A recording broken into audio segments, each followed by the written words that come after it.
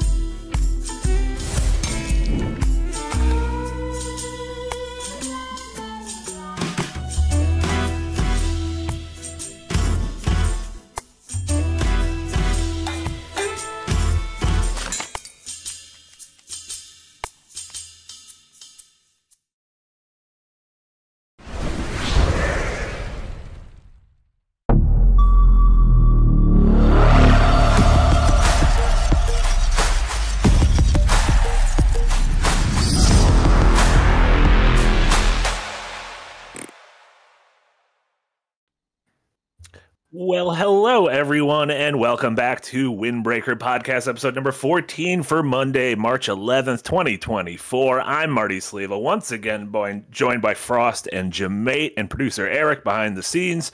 Uh, as a reminder, Yahtzee and the Adventure Is Nigh crew are uh, still out in our nation's capital. Uh, they're filming the remainder of season four. And also, if you guys didn't see, we launched a Kickstarter for the Adventure Is Nigh card game. Launched it Saturday evening, already hit the goal. We're about to triple the goal. Uh, but there's all sorts of uh, there's all sorts of great uh, sort of stretch goals there. So uh, if you haven't, check out the Kickstarter. Uh, play as your favorite Adventure Is Nigh character in a uh, drinking game to to outdrink the others and leave them on the floor of the Adventures nightclub. Uh, lots of cool stuff there. So thank you to everyone who's already supported that, and thank you to everyone who supports us on Patreon and obviously via super chats. We're gonna get to those in the back half of the episode. Uh, but we got a goodie for you guys today. I'm glad JM8's here because I know JM8 has a lot of thoughts on this. Um, this started our our topic started as a uh, kind of a reaction I saw to uh, so Helldivers came out a few weeks ago and was, uh, I feel like, universally uh, beloved. And it was immediately one of those games where it's like, this is how you do a live service. This is how you do it. You don't do it like Suicide Squad. You do it like this. And eventually, I was like, well, the the table's going to turn on this. Like something bad's going to happen. And sure enough, a few days ago, we got um, sort of a, a, a, minor wrinkle in this where uh, the the Arrowhead Studios released a uh, patch, which uh, obviously had some balance changes, uh, nerfed some popular weapons. Fans got mad at that and expressed their anger, and then an artist for the studio sort of uh, responded to them a little cheekily and pretty much said that like, oh, it's not that it's got nerfed, it's just like you kind of got filtered, like you're just not you're just not good enough. Like plenty of people are still clearing this, uh, fans got mad at that, and then the uh, studio head and creative director had to come in and sort of apologize for the tone and say that's not a respectful way to talk to the audience.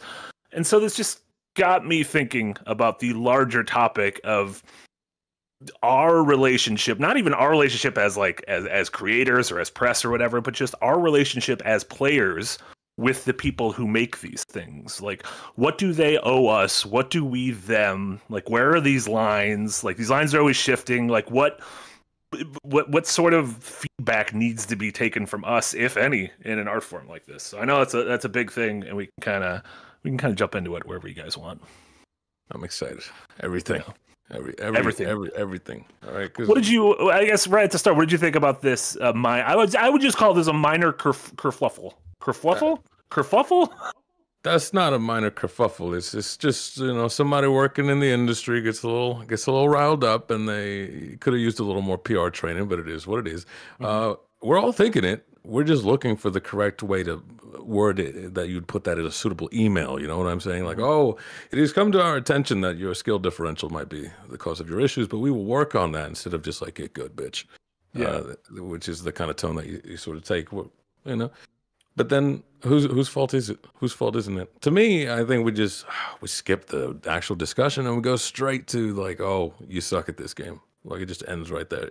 My brother in Christ, you're you're the developer, right? who's your who's your target audience? I wish there were a label that very specifically like these are the structures, these are the commandments. This is what the game's always going to be, because I find live service to be too um, hard to write off. It's hard to say this isn't for me because they're trying to reach so many people, you know. So what what, what are you going to do there? But on the topic of this one, I think what it was the nerfing. Yeah. Mhm. I, d- I started that dis- or I I went into it on Twitter as well of saying like I don't understand PVE balance. I don't I don't get it. How do, how do you guys feel about that? Jay, you you know your balance. Marty, you play single player games. Do you, do you- how do you feel about PVE balance even though it is an online structure? Yeah, I think it's justified. I, I, I do understand it. I guess in a game that is built for uh this is a live service, right? So the rate at which how fast the community clears the content and um how they interact with it does matter over time, especially considering it's uh multiplayer. The the aspect with Helldivers is that a huge aspect of it is that you can kill each other. And if there's a gun, like there was one I can't remember what it's called. It's like the Tesla coil gun. It's like the, The arc railgun. or something. Oh, the arc thingy. Yeah. It's horrific, and if you're anywhere near an enemy, it will bounce to you and will kill you instantly. And um, let's say that gun is horrifically overpowered in this instance. Therefore, a lot of people are using it, which means there's a lot more, um, not just accidental team killing, but it's like rampant.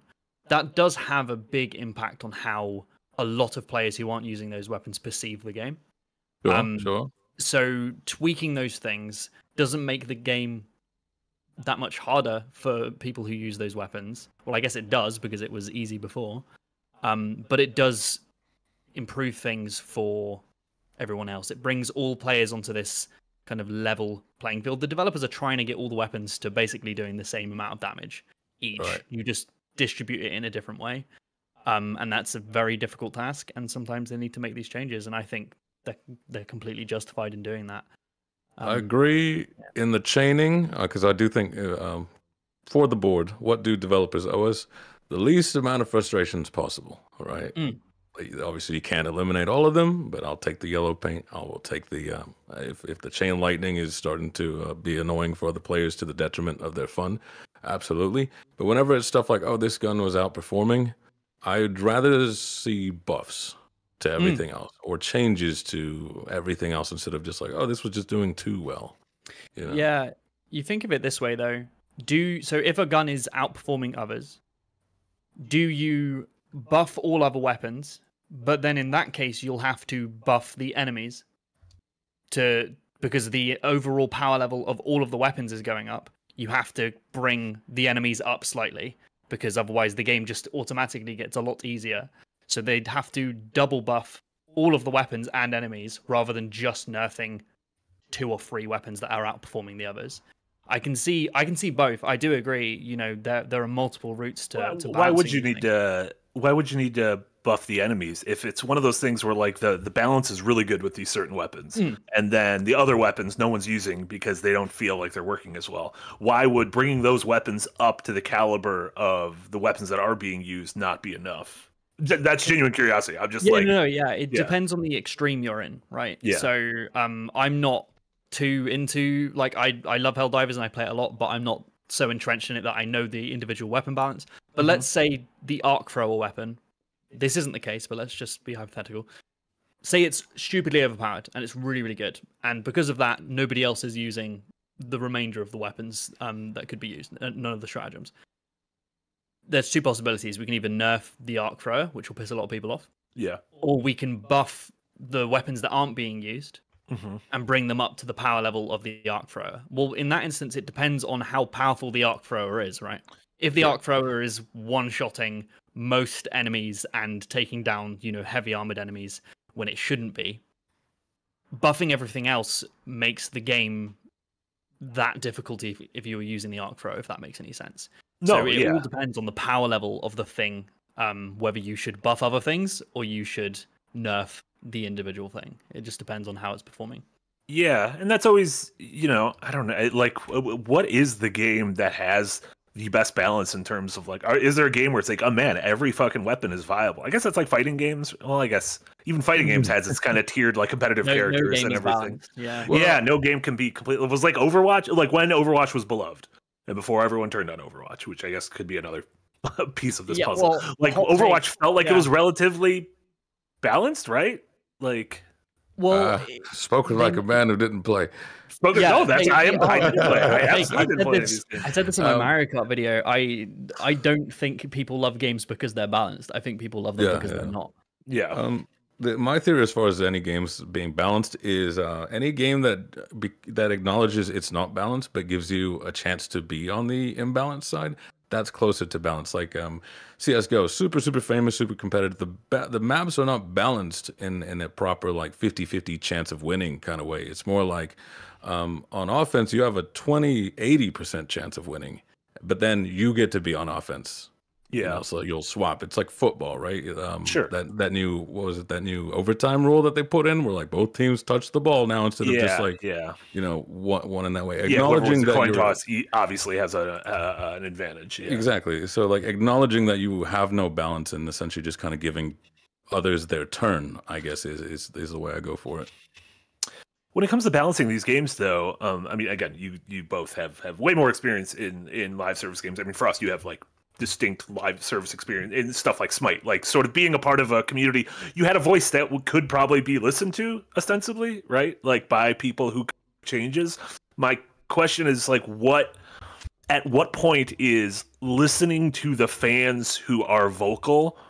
Uh, at, at what point does it go from being like a, a positive to wait should we be listening to this vocal minority because Yeah. they don't represent like what they want from the game is probably way different than what the random schmucks who Pro aren't saying anything and want from the casual game. Yeah, yeah. Yeah. So let's, let's zoom out so I can we can hit the title topic then. In that case, people, um, I love humans.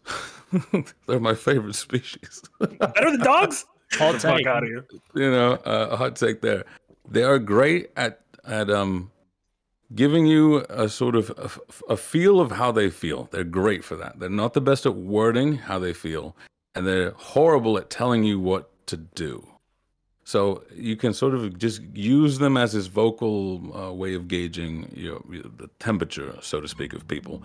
But um, you also have to take into account like the silent majority. If people are satisfied with your game, they won't talk. They won't say. anything. They'll mm-hmm. be playing your game. So you have to understand that most of the outcry is just from. It's always essentially going to be churning unhappy players. And so the responsibility, I think, is like you should listen at the very least, but definitely don't don't act on everything. And I, I think like what's so interesting about this space is that humans are a puzzle, so to speak.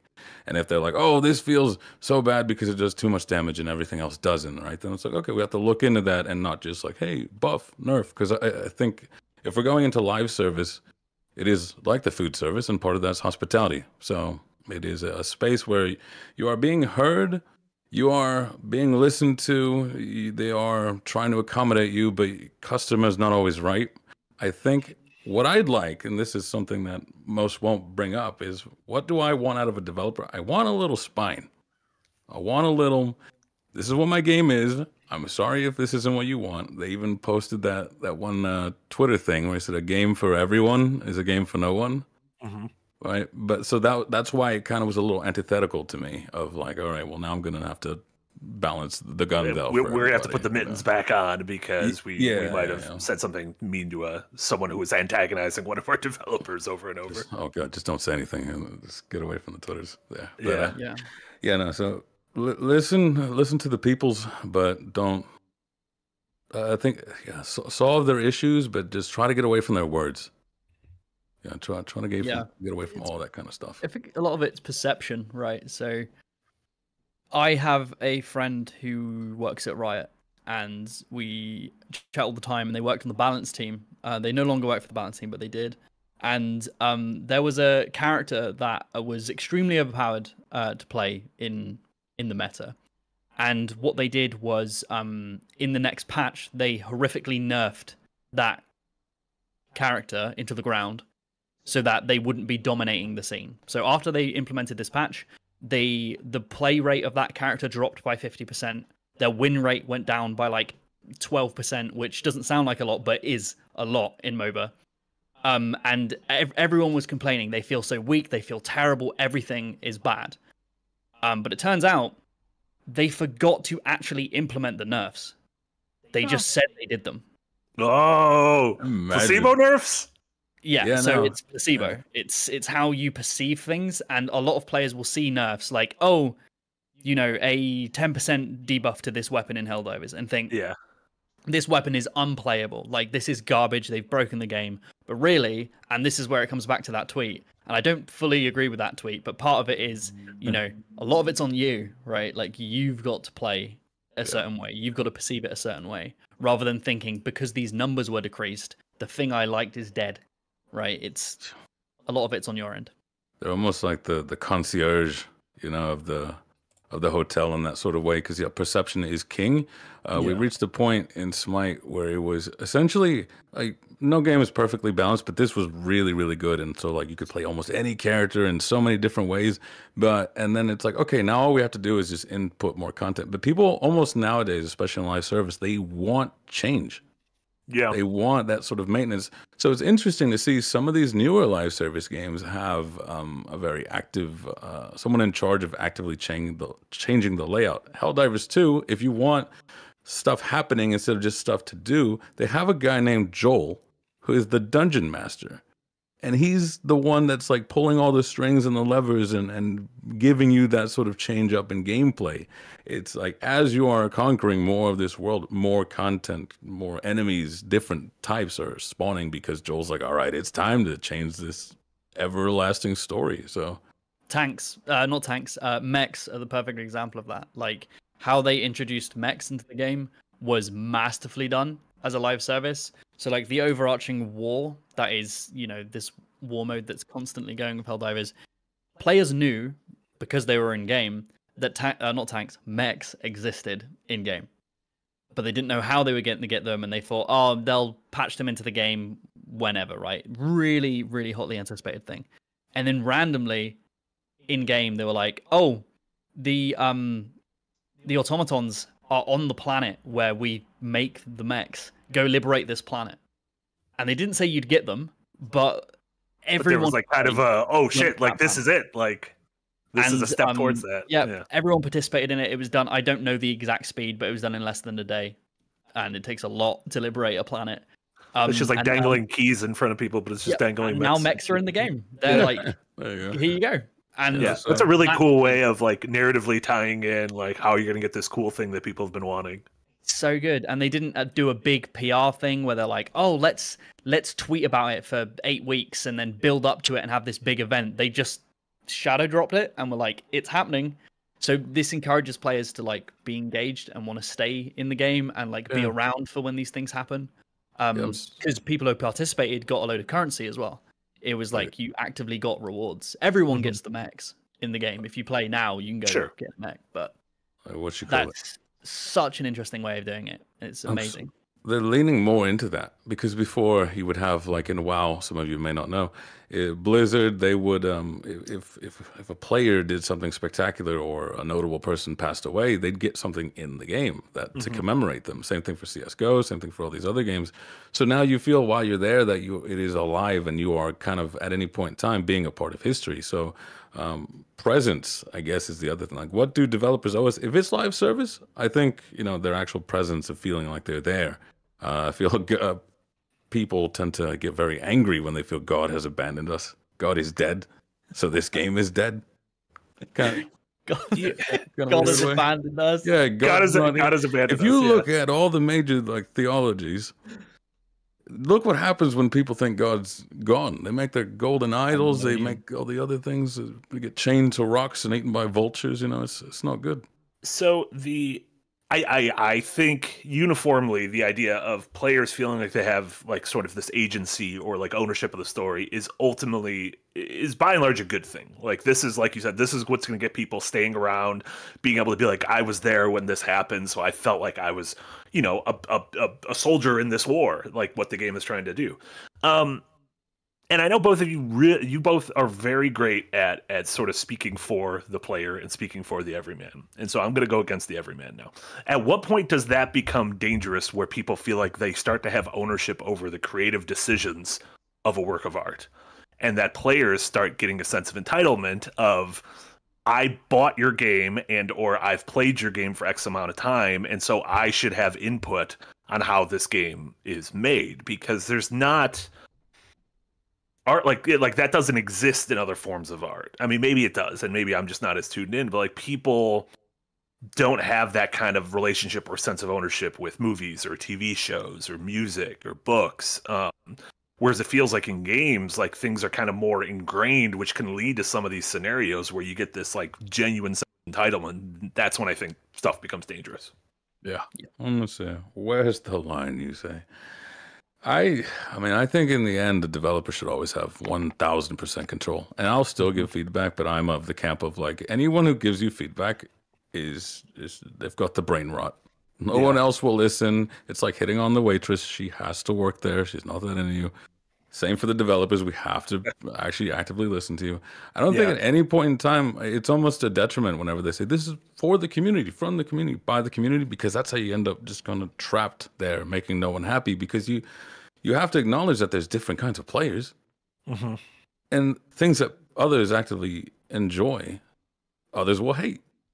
So you're just going to if you try to make everyone happy, will make no one happy. So Mhm. I, I don't I don't think a developer should ever owe um, anyone anything in that regard. Um, they make it hard on themselves to to create that separation of like, oh, I give you feedback and I found bugs for you, and Yeah. I like it more when it's just like all you did was buy cosmetics. You don't know anything, right? Yeah, you're just a you're just a ultimately you're just a customer at this store, and like Yeah. if you start acting fool, we can we can tell you get the fuck out. Yeah. Exactly. Yeah. I think I think there's there's perspectives on this. There's there's multiple, but a lot of it comes down to genre in my eyes. Like I think live service and multiplayer games like MOBAs and and um you know like MMOs, y there is an element of you do owe your audience something, um, and their thoughts should be heard. But this the two ways I look at it is games can either be viewed as art or they can be viewed as a product. With a product, you have the right to, you know, if your sandwich has shards of glass in it, to take it back and to say, hey, these shards of glass, they're making my experience terrible, Yeah. and offer that feedback and get things changed. You Mhm. do not walk into an art gallery and demand that Van Gogh changes Starry Night. Yeah. Yeah. That is art. It should be That during the day. It shouldn't be at night. Yeah, right? Oh, you can interpret God. it however you want. You can view it however you want. You can experience it however you want. But it is not your decision to have those things changed because it doesn't line up with your viewpoint. Games are art. Anyone who disagrees in the chat, you can leave because you're wrong. Games are an art form. Um, and as players, just because you paid for it does not mean the developers owe you anything and changing it because it is an art form. When we bleed into, you know, live services, when they're very much more products than they are, you know, an experience that is to be digested, um, I see the argument of, well, you should change these things because it's making it terrible for us. But like, there's different there's different ways of looking at it, and it's ne- it's not black and white. There's these they cross over. oh no, and like that's not saying that oh the artist is always going to be making the right decisions because that's there's plenty of bad things. Of course, yeah. Those were the decisions of the creators, and you're like, oh, this is how we get Madame Web. Oh God! Uh, you remember the culling? Did you I do remember the culling. Yeah, the Played game that was the main dev refused to balance the game or fix any of the annoying parts, and he would just mock the community. It was the hottest game on Twitch for like two weeks, and then it died because he's like, um, "Don't skip leg day." I remember there was another game. I, I associate a bunch of these games that like came and went uh, really quickly. There was a game called Firefall, and I remember a thing where the CEO of the company would get liquored up and go into like either Discord or Reddit or on Twitter, would field suggestions and then just implement them into the game drunk. And at one point, a player was like, "I don't like the PvP mode," and he just fucking removed it, and it just never came back. And he was like clearly drunk at like midnight. And like that is insane. like that is like that is, Is it? like, Oh, it's his, it's his game, you know. it It's like- It's his. It's it's his game, but it's that is like a, a certifiably like, uh, insane way to make art. What do you call it? It's like with Palworld where people go, "Oh, now I don't know if they'll finish the game." I was like, "I wouldn't if I made that much money." I was like, "On to the next." No, I You would never hear from me again. I guarantee you they won't. You'd never, Yeah. you'd never see me again. Absolutely not. Yeah. It's um, yeah. It also it feels like this is part and parcel with the uh, conversation from a few weeks ago with Xbox when when uh, the news came out that some of their games would be going third party, and like Xbox had spent such a long time uh, um, sort of cultivating this fan base where it felt like the the the the, the brain rot people on Twitter and on YouTube who are like ride or die fans of a corporation felt like they were like best friends with you know Phil Spencer, Aaron Greenberg, like these these high ranking Xbox executives. Yeah, and they were like, "This is it. Like we're a part. We we have a seat at the table." And then when Microsoft made a decision that f- financially makes a lot of sense for Microsoft because they're like, well, these get these games, let's put these on Switch and, and PlayStation and make more money off of them. Those fans were like, how could you? We had a seat at the table, and it's like, well, you didn't. You didn't because like you were, you know, you thought you were buddy buddy with a corporation, but ultimately it's a fucking corporation. Like I don't as much as I I love Nintendo and I buy Nintendo shit, I have no qualms that Miyamoto would walk over my dead body. he would just he would walk over my dead body for his sweet sweet Pikmin. I'm sorry to um, say excuse me, Marty-san. as he steps up. and then he would uh, he would find out I have a GameCube emulator and he would sue me into oblivion. Oh. um but even I guess even speaking of Nintendo though, that reminded me of there's Nintendo's doing this weird thing recently where they're just not saying who's developing their games. So this Peach game is coming out um, in like a week, and they have not said who's developing it. Like if it's internal Nintendo, if it's a second party partner, who it is, and their official response was, "You can wait until you finish the game and see the credits." And I'm like, "That's insane." why? like why? I don't, I don't know. know. Like, and I think they said like someone data mined it, and it was like, oh, it's the studio that made like Yoshi's Woolly World or whatever. So it's like, why not just say it's that? Like, that's like a truly insane thing. I don't yeah, know. Yeah. Maybe that's a Japanese, like a cultural thing that I'm just, I just don't know. Where it's like you shouldn't care who made this thing, but it seems very strange to me. Like it would have been better PR to have said nothing than to have said that. than to have said, yeah, yeah. Wait, that's, just that's amazing. Yeah. Are we owed their patience though? Honestly, I wish more games would just be like, you know, touch grass, get out of my face. like, what what are you doing? Here? Oh, another anime profile picture coming to yell at me about how my game sucks, but they put in triple digit hours already. Grow up, you know, like uh, just a, just a little reality shake, just a little one, you know. Yeah, because that stripper don't love you, bro. Yeah, it's that stripper don't love you. Um yeah, like I don't know. I, I also saw some other people saying earlier that like, um, you know, what developers OS is a finished game, or what developers OS is uh, go.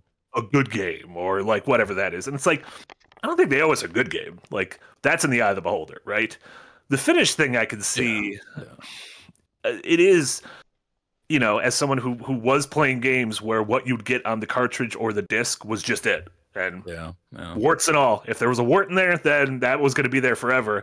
Whereas now you play a game, and when I review a game, any game, I'm not even talking about any specifically, I get a giant list of, hey, the version you're playing is uh, still kind of fucked up, and day one these things are going to be fixed. And I'm like, that is, why don't we just delay every game a week then? like, yeah, yeah, you guys are making me sound crazy. Yeah it should or we had to do with like I had an old uncle and he was always late for everything. So we just started telling him everything was an hour uh, earlier. There you go. And that's how you get around it. Maybe that's Dang. how that's like your daylight savings time thing. Yeah, daylight savings time. Then that's amazing. so, so they owe you a finished game show. Do they owe you all the content? Because Balatro does this thing where you can just unlock everything. And uh, I remember that was an old Total Biscuit thing because he was hella pro consumer, um, even against, against to their own detriment sometimes. But he would he would say they bought it.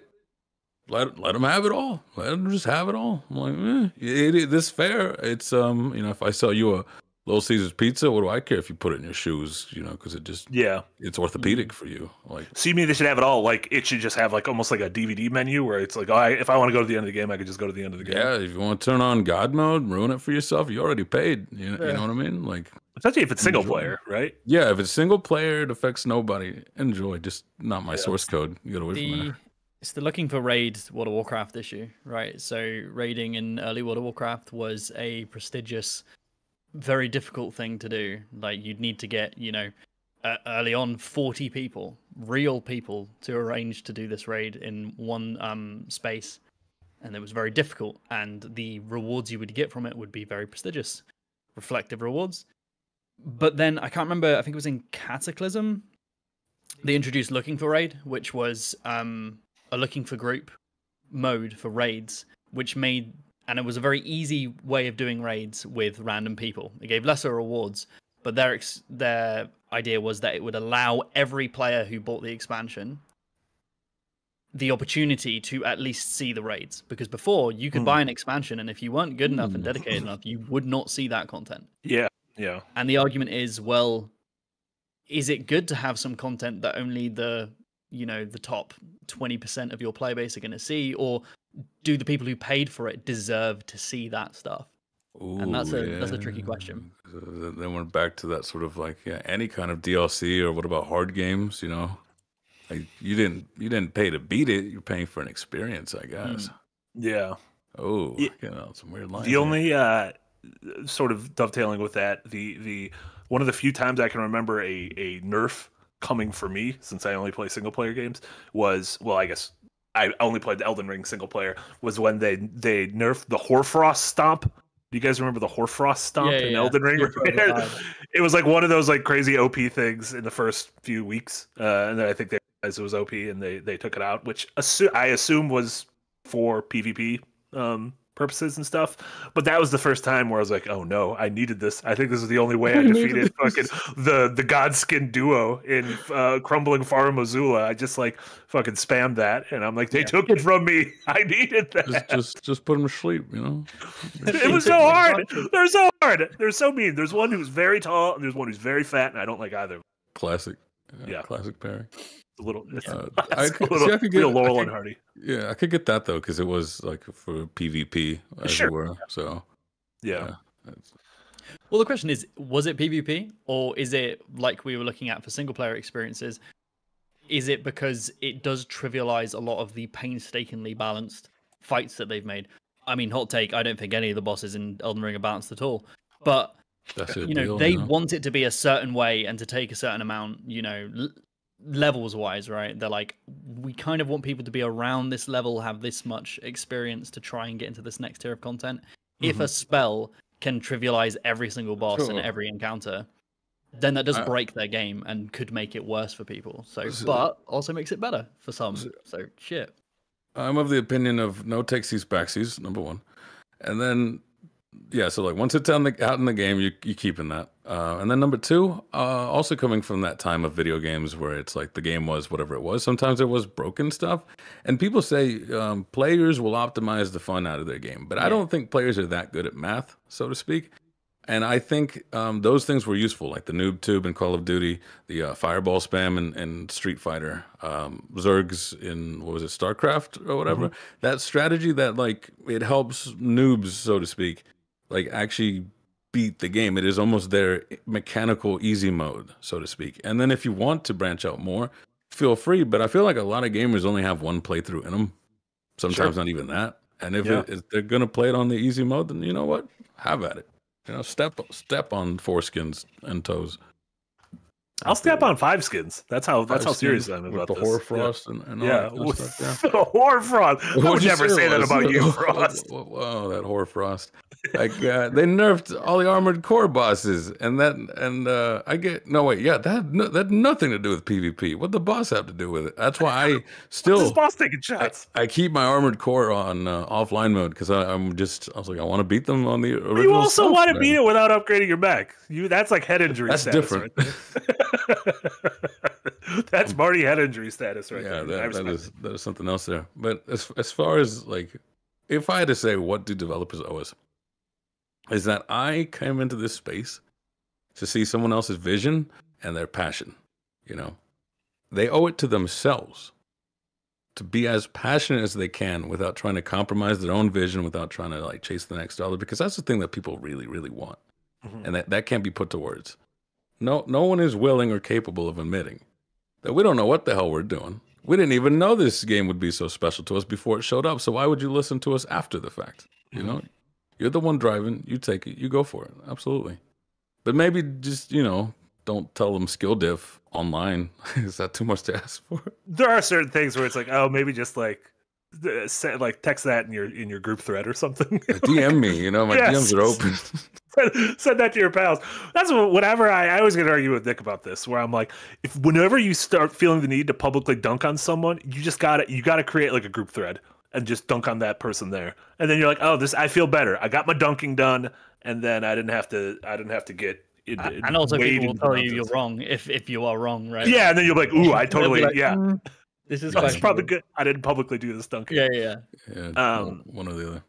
That being said, like I have a I have a, a, a infinite sympathy for uh, developers and creators and artists. That sympathy starts waning very quickly when we start getting to the publisher level, because that's when I'm like, if you want to be mad at mm. people, these are the people get mad at. Get mad at to the people with the with the monies, the people making the decisions that the developers are like, well, fuck it, I guess yeah. we have to do this, that kind of thing. Um, I'm not saying all publishers are evil, because that's clearly not the case, but um, when we're talking about the systemic roots of the the issues we have with a lot of modern games, feels like um, it's a, it's a step above the developer a lot of times. Yeah, yeah, or or it's hard to pinpoint, right? I wish I could just be like, it's always these publishers, but uh, I've also seen some devs kind of get into their own heads. That's why mm. um, it is a difficult space to be in in that sense. Well, so like in this instance, uh, publishers will promise whatever, but some developers also overpromise. Do they owe us that at least, where they're like, oh, I hope to have this in the game? You know, is that now an advertisement? Essentially, what, was, what you just said. Shit, what was what, we were talking a few weeks ago about was it Dead Cells? Yes, there you uh, go. Yeah. yeah was, wait, what was that all about? I, I have like a vague memory. Of... Dead Cells, they're like, all right, it's finally going to be done. And to everyone else, that looks like crazy. That because you've been making the, are, are been, crying this game's been out for, for, like six years or whatever. Yeah, yeah, like it had to end at some point, but they mm-hmm. had promised that it was going to continue. That was so it. now it's yeah. like you did you owe us that because you promised it. Sure, yeah. Because at first, when I first saw that story, I'm like, how entitled are people if you're getting mad that a game gave you six years or whatever, five years, however long it's been of of updates, and they're stopping now? And then you were like, well, actually, they promised this one thing, and then they pulled back on it to shift resources to the next project. I was like, oh, okay, maybe mm. at that point, like, yeah. I, I also just think maybe we should, we should we need to stop as a whole just promising things. That's what yeah. I'm. I feel like anytime we lock a date out, I'm like, don't say the date. Just just say hey, maybe this thing is in the works. Like keep it vague until that thing is ready to launch yeah. because you don't know what's gonna happen. I like think... where where is that line between just yeah. uh, I'm just talking versus you're the guy making it. This is false advertising now. Yeah, yeah. There's there's two things for me. There's one which is you know on the whole topic of advertisement and stuff like that. The developers and especially publishers have a duty to their players to only advertise things that they're pretty sure are going to be in the you know the product. Mm-hmm. It, it, things can change and they do change, but if it's a major feature and you have been sold on that, right? Not necessarily trailers, but let's say on the Steam page says there's a mechanic in the game. That's the thing that sold you, and it's not in the game. That's just false advertisement. Yeah. But also part of it, and this comes back to the whole overarching question of you know what do developers owe us? Artistically, nothing. They can make the changes all they want, but if it was intentional or not, that's when things need to change and it is owed to the community. So again, I'm playing a lot of it, so I'm gonna go give the World of Warcraft example again. There are lots of classes in World of Warcraft. There are lots of different classes in a lot of games. The developer do developers do not intend to balance the game in such a way so that one of these classes is unplayable. They do not intend to do that, but sometimes things, you know, happen. These classes are unplayable. It's a miserable experience for the people who main that class those players of that class, I believe, are owed balance changes because they Blizzard would didn't would not intend that, so they are owed that so they can play the game effectively, right? Mm-hmm. But if it was intentional and it pisses off a, a, load of players, like the balance changes is like the balance changes in um Helldivers, I don't think the developers owe anything because that was an intentional change, not an yeah. unintentional one that they needed to balance out or something like that. Sure, sure. I like that. I, I don't know if Ludo was agreeing or disagreeing with you by uh, squeaking that. Probably dis- knowing Ludo, probably disagreeing. What I yeah, I mean, technically now it's just. Uh, I assume that these games are as fleeting as ever. Um, if the new uh, TOSs, because I read them once every who knows how long now, say, well, we can change the game whenever to do whatever and we might need to. So this game can just not be anything ever one day. Is that like a standardized, almost like boiler boilerplate? I'm see- I'm seeing it become more boilerplate. Yeah. Uh, Cyberpunk's was the only unique one because well, their whole thing was unique. Did you did you read Cyberpunk's TOS? No, I don't like, read any of those. Oh, oh, come on, Marty! You love reading. this it's, uh, it's, it's very in character. It's, it's, quite nice. Oh, if it's in character, that'd be fun. Yeah, yeah, yeah. They're very in character. They TOS. get- Uh, Brian Co- Emmy winner Brian Cox to voice all the TOSs. If I could listen to Brian Cox, the the the, the father from Succession, voice all the terms of services, I would do that. the guy from the Tekken trailer. The, the, yeah, Tech, John Tekken himself. John Tekken. Tech. Could you? I love that they got him. Like, hey, can you do a Tekken lore recap? I thought he'd be a fighter. Like, oh no way! Succession collab. It's great. So sick. Um, Unfortunate. so you guys want to jump into uh, jump into super chat? There's a lot of a lot of Yeah, super chats, sure. and I'm sure a lot of this will um, will, will tie into other topics we've had. What, what do you Uh, got? Uh, so chat, remember if this is our, our super chat portion, uh, get your super chats in. We will read all of them, starting with Steamtastic Vagabond with six ninety nine Canadian dollars. Thank you so much, Steamtastic. I'm just shouting out Shogun Showdown, a banger roguelike that deserves more attention. Flabble knockers. I don't know what Shogun Showdown is. I thought you were shouting out Shogun, the Hulu series, and I was gonna be like, hell yeah. And then you you added the word Showdown, and I don't know what that is. You know what that is, Frost? You like roguelike? Yeah, yeah, yeah. You're the played it. roguelike guy.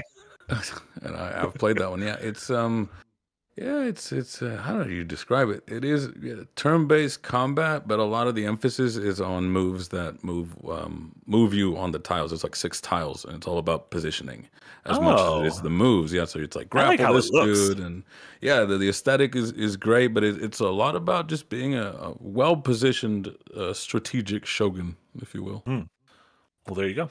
Learn how to be a shogun. Uh, thank you so much for the dono. Tommy Salty with Tens Woti. Thank you so much, Tommy. Devs owe us games made in decent working conditions.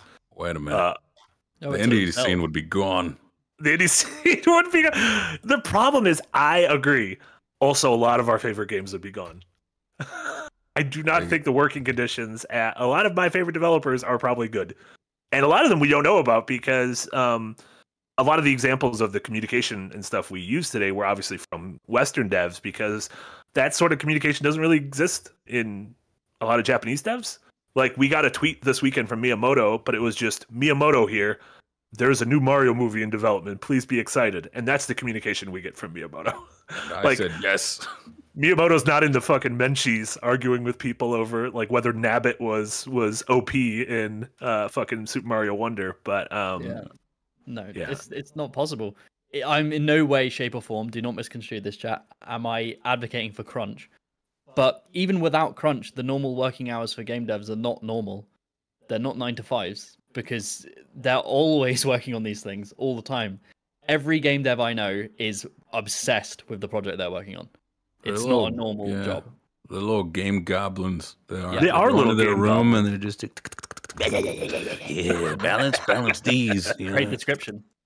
like uh, go go watch some game documentaries. The, the way they talk about their life, working out of garages, you know, five mortgages, three It is their kids. life. Like, dear God, five mortgages and three kids. You got to get three three mortgages and five kids. That's how you do it. Mhm. one one's a little Uh, chubby.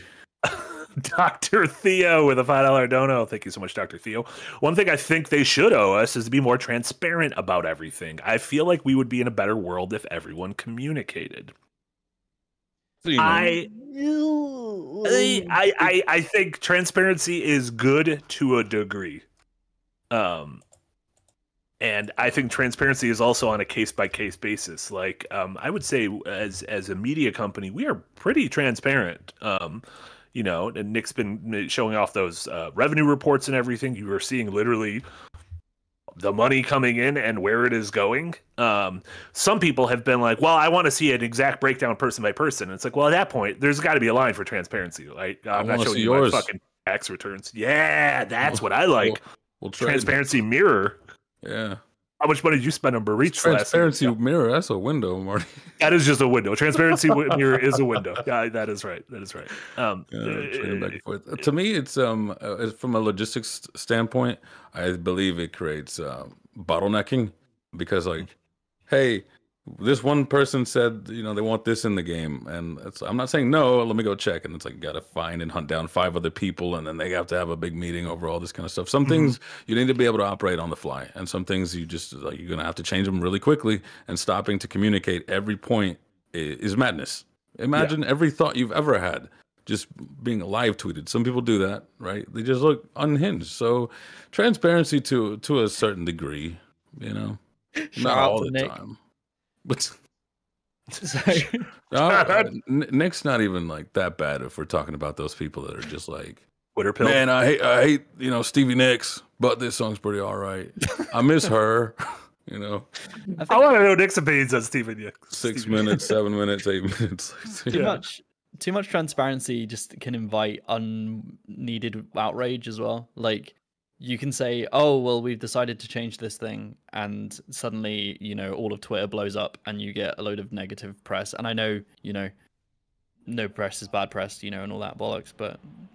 It, there's something for holding your cards close to your chest and having a Mhm. reveal for stuff and you know getting people excited not just through giving them all the information but just waiting to say things right Yeah, Also, I mean, there's um, like uh, Silksong's a good example of that. Of where I imagine. Well, first off, that started off what that was going to be a DLC or an expansion that grew Yeah, into a full fledged Yeah. sequel, and I would imagine Team Cherry regrets showing it so early.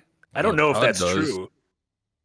What What do you think? Do you, do you? Yeah, I mean, Todd does probably by showing that logo. It He was probably good it. for. I mean, it's probably good for the shareholders, right? In I'm the like, oh, interview, he was like, "Why did we do that? We weren't Yeah. even making it." because now Oh, it's even real. everyone's Yeah. talking about it it's Yeah. like and nobody every announcement of any you know um game showcase everyone in the chat is like silk song silk, silk song Yeah. silk song Yeah, if they had been revealing every single area and showing all the animations of you know hornet and all of this the hype would be nowhere near as as big. And Yeah. yes there are a lot of negatives to that. It's never going to live up to that hype. Hopefully it does. Um but that was drummed up because they're showing so little of it you know? Mhm. Also, I- what was it? From a pr- sort of protective sort of standpoint, imagine being like a big brother um, to your siblings or even your parents. They didn't tell you everything because you're you're a gamer. You're not a developer. You're not. yeah. You don't know what these things are like, and not in a like go away. You know nothing, but sort of like this is stress you don't understand, and I don't want it on you hmm because like why should that be on you? Yeah. You know, especially if I'm about to fix it in like ten minutes. Mhm. I'm like, oh, hold on, guys, game's about to like crash completely. Oh, I found it. I, I got a save file. We're good. We're- yeah, we're I mean everyone everyone who's worked a job not only in like customer service but just oh, I, I feel like literally almost any job is like there's certain parts of your job where it's like well the other people who don't work here don't need to know how this works there's parts Yeah. of our job where it's like there's behind the scenes stuff and like people like as transparent as we are it's like you don't need to know the you don't need like a minute by minute breakdown of what Yeah. all of us are doing because you're here for like what the finished products are like and then we show you some of the transparency of like on the road to those finished products and it's the same thing of like i don't know do you need to know what the the inner workings of a hotel are like in order to stay there? Like no the customer probably doesn't need to know that. You can develop more empathy with the people if you do if you reach a little bit to you know if you've ever worked back of house in a restaurant you have you, you will immediately empathize with any sort of food service place you go to in the rest of your life because you'd be like oh I've, i know what's going on back there there's there's legitimate hell back there Yep, you're there for the eggs. You don't really care if Mike showed up again after. yeah oh my god mike's high mike got high He was bobbing for apples in the fryer again. Like, bad. Sounds like a nightmare. Uh, race car lock with a five dollar dono. Thank you so much, race car lock. In my mind, as a consumer who watches game design stuff, it's like trying to build the Mona Lisa that's also a functional four door sedan with features. I still think it is literally miracle that any video game gets made. I don't understand. Right. It. It's It, it just art, feels like fucking product. like alchemy. Yeah. I just don't get it. How do things appear on the screen? I was writing a few seconds ago. I pressed play, and now I don't get it. I don't Coming Going back to what you said earlier about you know oh the games come in and they there's a message saying hey 10 different things are broken here but they'll be fixed in a week. And you say well why don't you just delay it? Or you know how is it like this? It's because uh, games are a miracle. Every game you've ever played is barely holding itself together Mhm. and is going to break at any point. It, every single game Yeah. from indie to AAA like it's I love it. it's barely functioning so they break very easily it is a miracle it's straight up a miracle I Yeah. love when um what is it? After a, a game gets big out of nowhere and then they go like, "Oh, I've never coded before. I don't know how." And then an actual developer goes and looks into the files and like, "Oh my god, this is just up on rubber bands and duct tape. How did you manage?" Like Mhm. I forgot what what Pirate Software was talking about Undertale. How he's like he has a, I can't I don't know what coding is, but it's essentially it's like he has layers upon layers of so much stuff for dialogue. stuff. Yeah. Yeah, it's all useless and checking in on itself over and over again. And I was like, yeah, but it's ama- It's just a miracle that it, that it came out. I don't Pure know how. chaos. Pure chaos. I don't Yeah. get it. I still, I also don't still don't understand how how movies work. You just point a camera at a thing and it just Yeah. fucking captures the image. How does that So- work? It's all I How do photos work? It's all editing. then people try to explain to me how it works. I was like, none of that makes sense. None of this makes sense. This is all magic. Uh, Beast March with a two dollar dono. Thank you so much, Beast March. Uh, developers owe us the following: good games. I don't feel like they owe us good games. They've they've Mhm. I, they owe us their games, and then we'll So see long- if they're good or not. I don't owe them anything. I it's two way. No Yeah. one owes anyone anything. You know. If any, I haven't seen a dev get uppity and like you Mm. owe me your money. Actually, I did see one. What a prick. Um, I'm not gonna call them out because we don't need that kind of stuff. But at that point, it's like, all right, I'll buy it, and if it's garbage, you give me the money back. this is going to be a two way street here. Yeah, yeah. I, One of those two way believe in this. mirrors. uh, I saw. I felt bad for um, an indie developer who released some game in the last week. It's called like Potions. Some Potions. A Curious Yeah, I Tale. Talked about how they're like they spent seven years to release their game. They released it, but the day they released it, EA was like, "Oh, by the way, a bunch of our old games are on Steam, uh, including it's like Dungeon Keeper, Oh, Command and Conquer, Red. Alert. They they they uh, Sim, old SimCity games. They dropped like ten games on Steam." Yeah, they- and the potions creator was like the second they did that all 10 of those games jumped ahead of ours in uh the like what's new or what's hot or popular new releases or something new trend. so without those ea games it would be like number five or number six but with those ea games it's like almost below the fold and so like that's one of those things that's like that's a fucking bummer i don't know what we do with that you know because i'm sure there's a lot of people who are like oh sick like these old like alpha centauri and simcity 3000 are Well- two dollars on steam that's great and then there's other people and then i get but i get where they're coming from of like we spent seven years of our life and we got fucked over because of this This happens Random event. though, right? Like yeah this happened to Titanfall 2. It released in between a Call of Duty and Battlefield 1.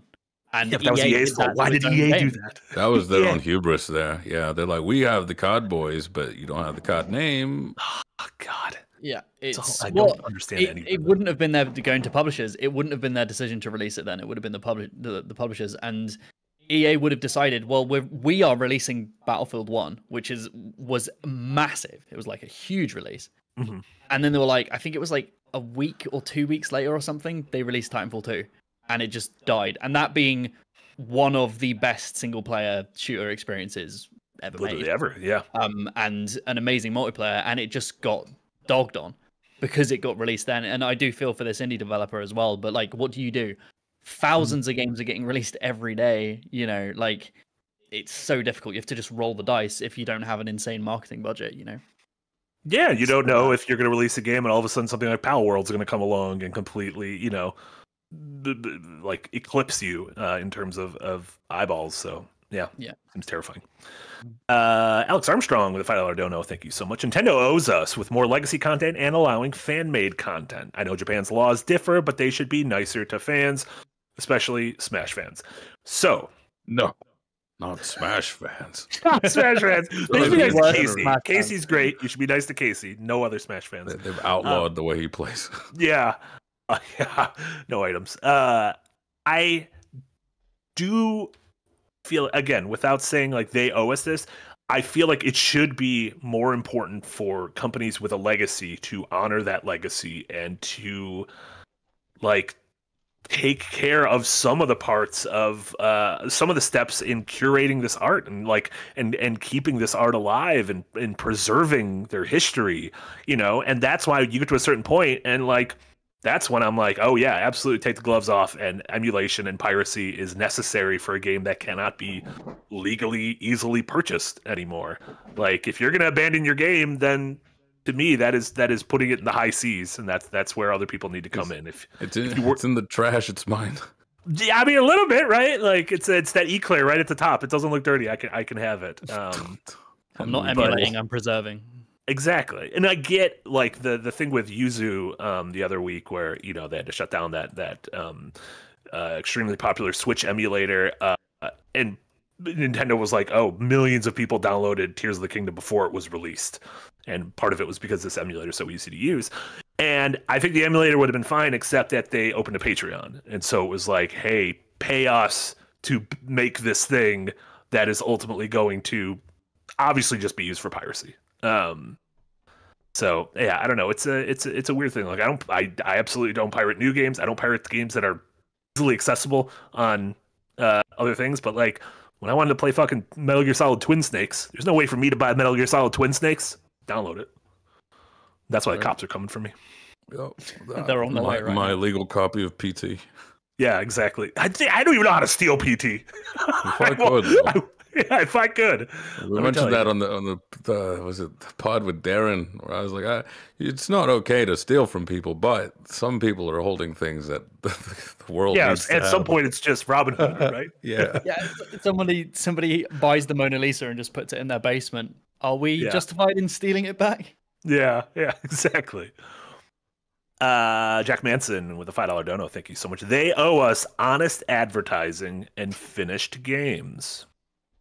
I think honest advertising. Yeah. The thing is, is any advertising honest? I feel Is like it- Bill. Yeah, see, I'm I'm in a Bill Clinton. What depends on your definition of the word is. You do a good Clinton. Like, he's a sly one, him. But yeah, what is an honest trailer? Yeah, What is a dishonest one? Um, I did research a while ago because there used to be uh, really rough trailers, especially with like Rob Schneider films and all this other kind of stuff, and even a fake critic uh, saying the game is or the, the movies are amazing, right? And people going, "Who is this guy?" And it turns out Sony just made them up, right? yeah, And uh, but they never nothing came out of it because this was a form of freedom of speech. It was an artistic representation of what my hopes and dreams for my own product were, instead of an advertisement for them. So, like, what what can you do? watch there? it yourself. Don't put it out to the public. You twat. You watch it. You don't make me buy it you know, with my own eyes. Yeah, Yeah. no. So it, it is again. It's almost like when I see a game that says early access, I go, "This could be absolute caca. This could be dead after I've bought it." But I'm still going in paying for that. Uh, with trailers, I go, "That could be all lies, like Sucker Punch." I Yeah. I want to make a show about this. Um, like I, I feel like I have this sixth sense for being able to watch a trailer and be like, that game's gonna be garbage. And you know, part of that's you know me studying and making games for so long. But um, I want to do like a react show where we we watch game trailers and we discuss like our thoughts on what it's gonna be and where it's at and stuff like that. Because I remember seeing No Man's Sky and everyone getting absolutely so excited for it. And my my best mate who I live with was like, "Oh my god, it's gonna be so good! I can't wait." And I was like, "That game's gonna be broken. That's gonna be bad." Just for the only game they made beforehand was Joe Danger, and that is not a game with an infinite universe. That is a game where you're a little motorcycle man going left and I was right. like, from the size of the team, the stuff they've said on Conan, whatever they were on, and and the trailers, that those trailers are not representative of what the game's going to be. And he was like, nah, nah, nah, it's going to be great. It's going to be great. They're doing big things. Lo and behold, you know, and Huge. yeah, but then seven Big years later, the game's kind of beloved. Oh, thank now. God. Only took the better part of a decade after release. Yeah, Yeah. they didn't. They didn't say now, did they? Within my lifetime, if nothing else, you owe me Yeah. your vision within my lifetime. Yeah. Yeah. there's a I don't know, like advertising to me is like I don't know, there's like fucking when I was watching the X Files, uh I was on it was on one of those weird channels. And so the advertising was like really like some some th- th- these are not the the ads that are airing during the Super Bowl and during the Oscars. These are like bottom of the barrel ads. And it's like if Dan Marino comes on and starts talking about these boner pills that help to give him a boner back, I'm not going to be like, "Damn, that's got to be real" because Dan Marino said he got a boner now. Like that's not. Does anyone get tricked by? ad- Does advertising still work on people? Is anyone like that's what a McDonald's burger actually looks like? I'm gonna go get one. Fucking no, it doesn't. Obviously, having knowledge. See, it, it, uh, admittedly, it does because whenever, like, whenever I was looking for a car, right, yeah. I didn't know of any except for the ads I'd watched. So I was like, "How much is a Lincoln?" Because I saw Matthew McConaughey cruising down his. Yeah. You know, I think that's a car. Yeah. Um, Yeah. A Nissan Skyline, Too Fast, Too Furious. That stuff works. I know it's- the I know the. Lexus December to Remember event. yeah. Maybe I want to be a part of this December to Remember. Yeah, like whenever you're looking for something that's kind of out of your depths, you, you only remember the the ads that you were shown.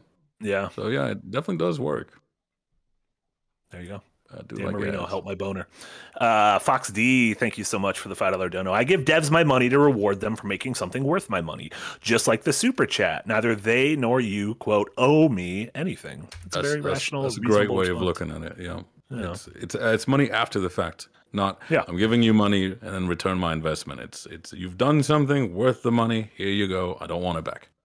Yeah, because I mean, by giving someone money, you're not guaranteeing you're going to enjoy something. Even if you wait for reviews and the reviews are all great and people you know love it, if when you buy a game, there's a chance you're not going to like it. Food. Like there's food, food, the same thing. same Maybe thing. you'll just be like, I don't, all this has cilantro. Shit, I'm one of those five percent of people where it tastes like soap. I am one of those five percent of people. oh no, that's tragic. monsters.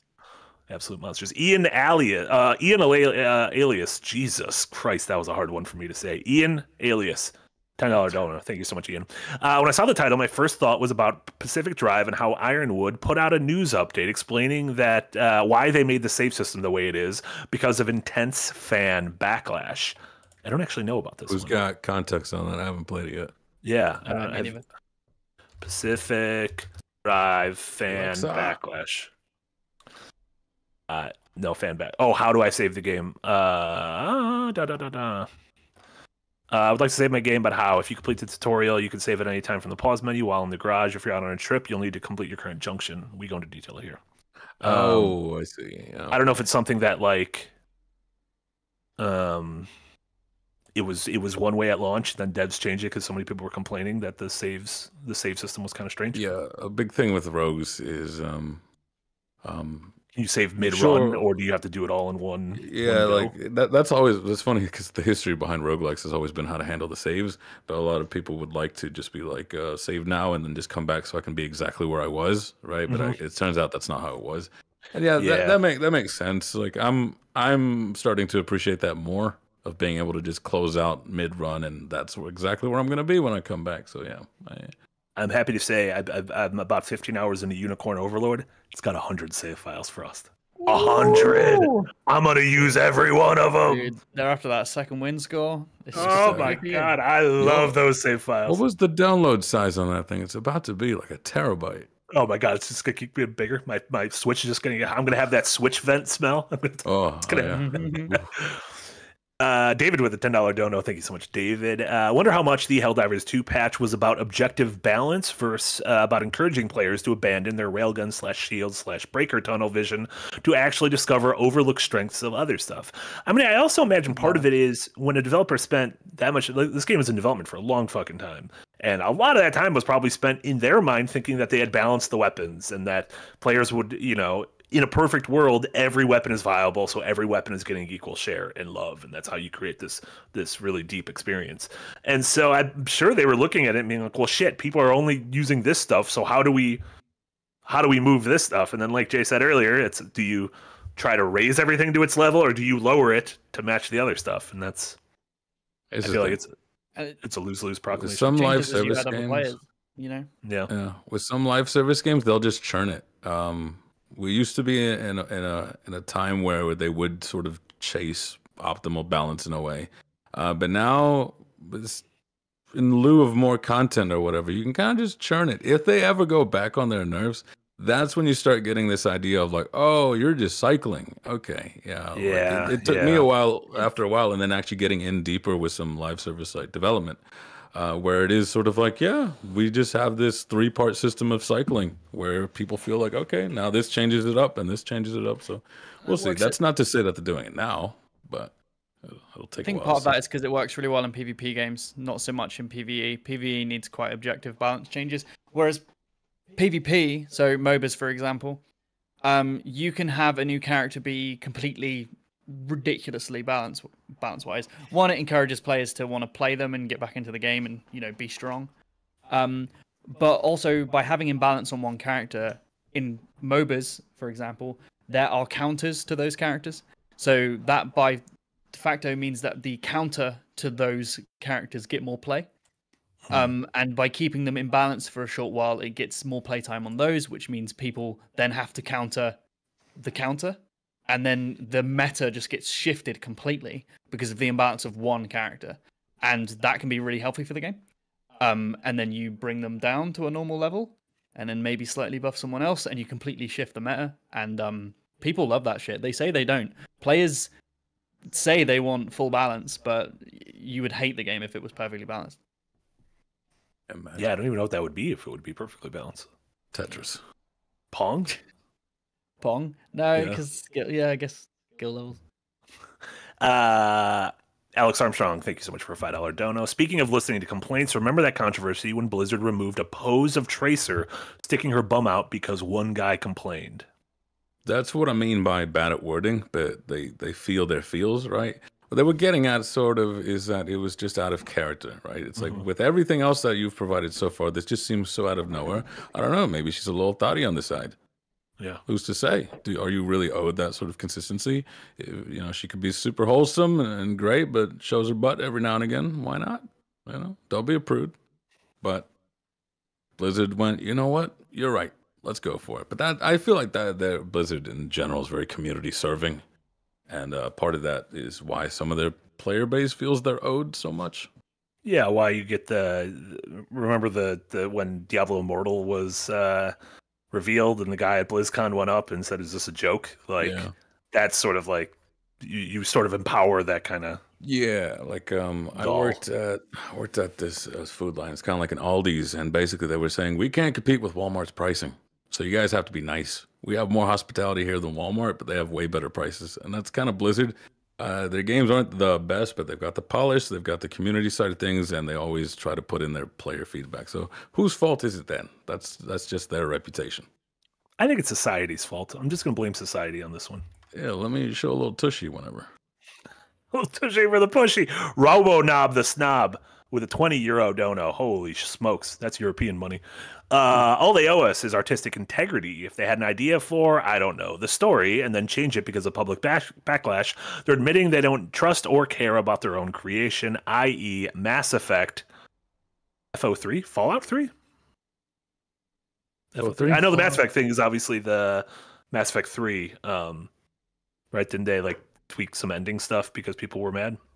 Uh, us. Oh, Right, that's back right. the They did, like- didn't they? or were they like they they uh they they went back on some of their decisions in, in like the epilogue DLC.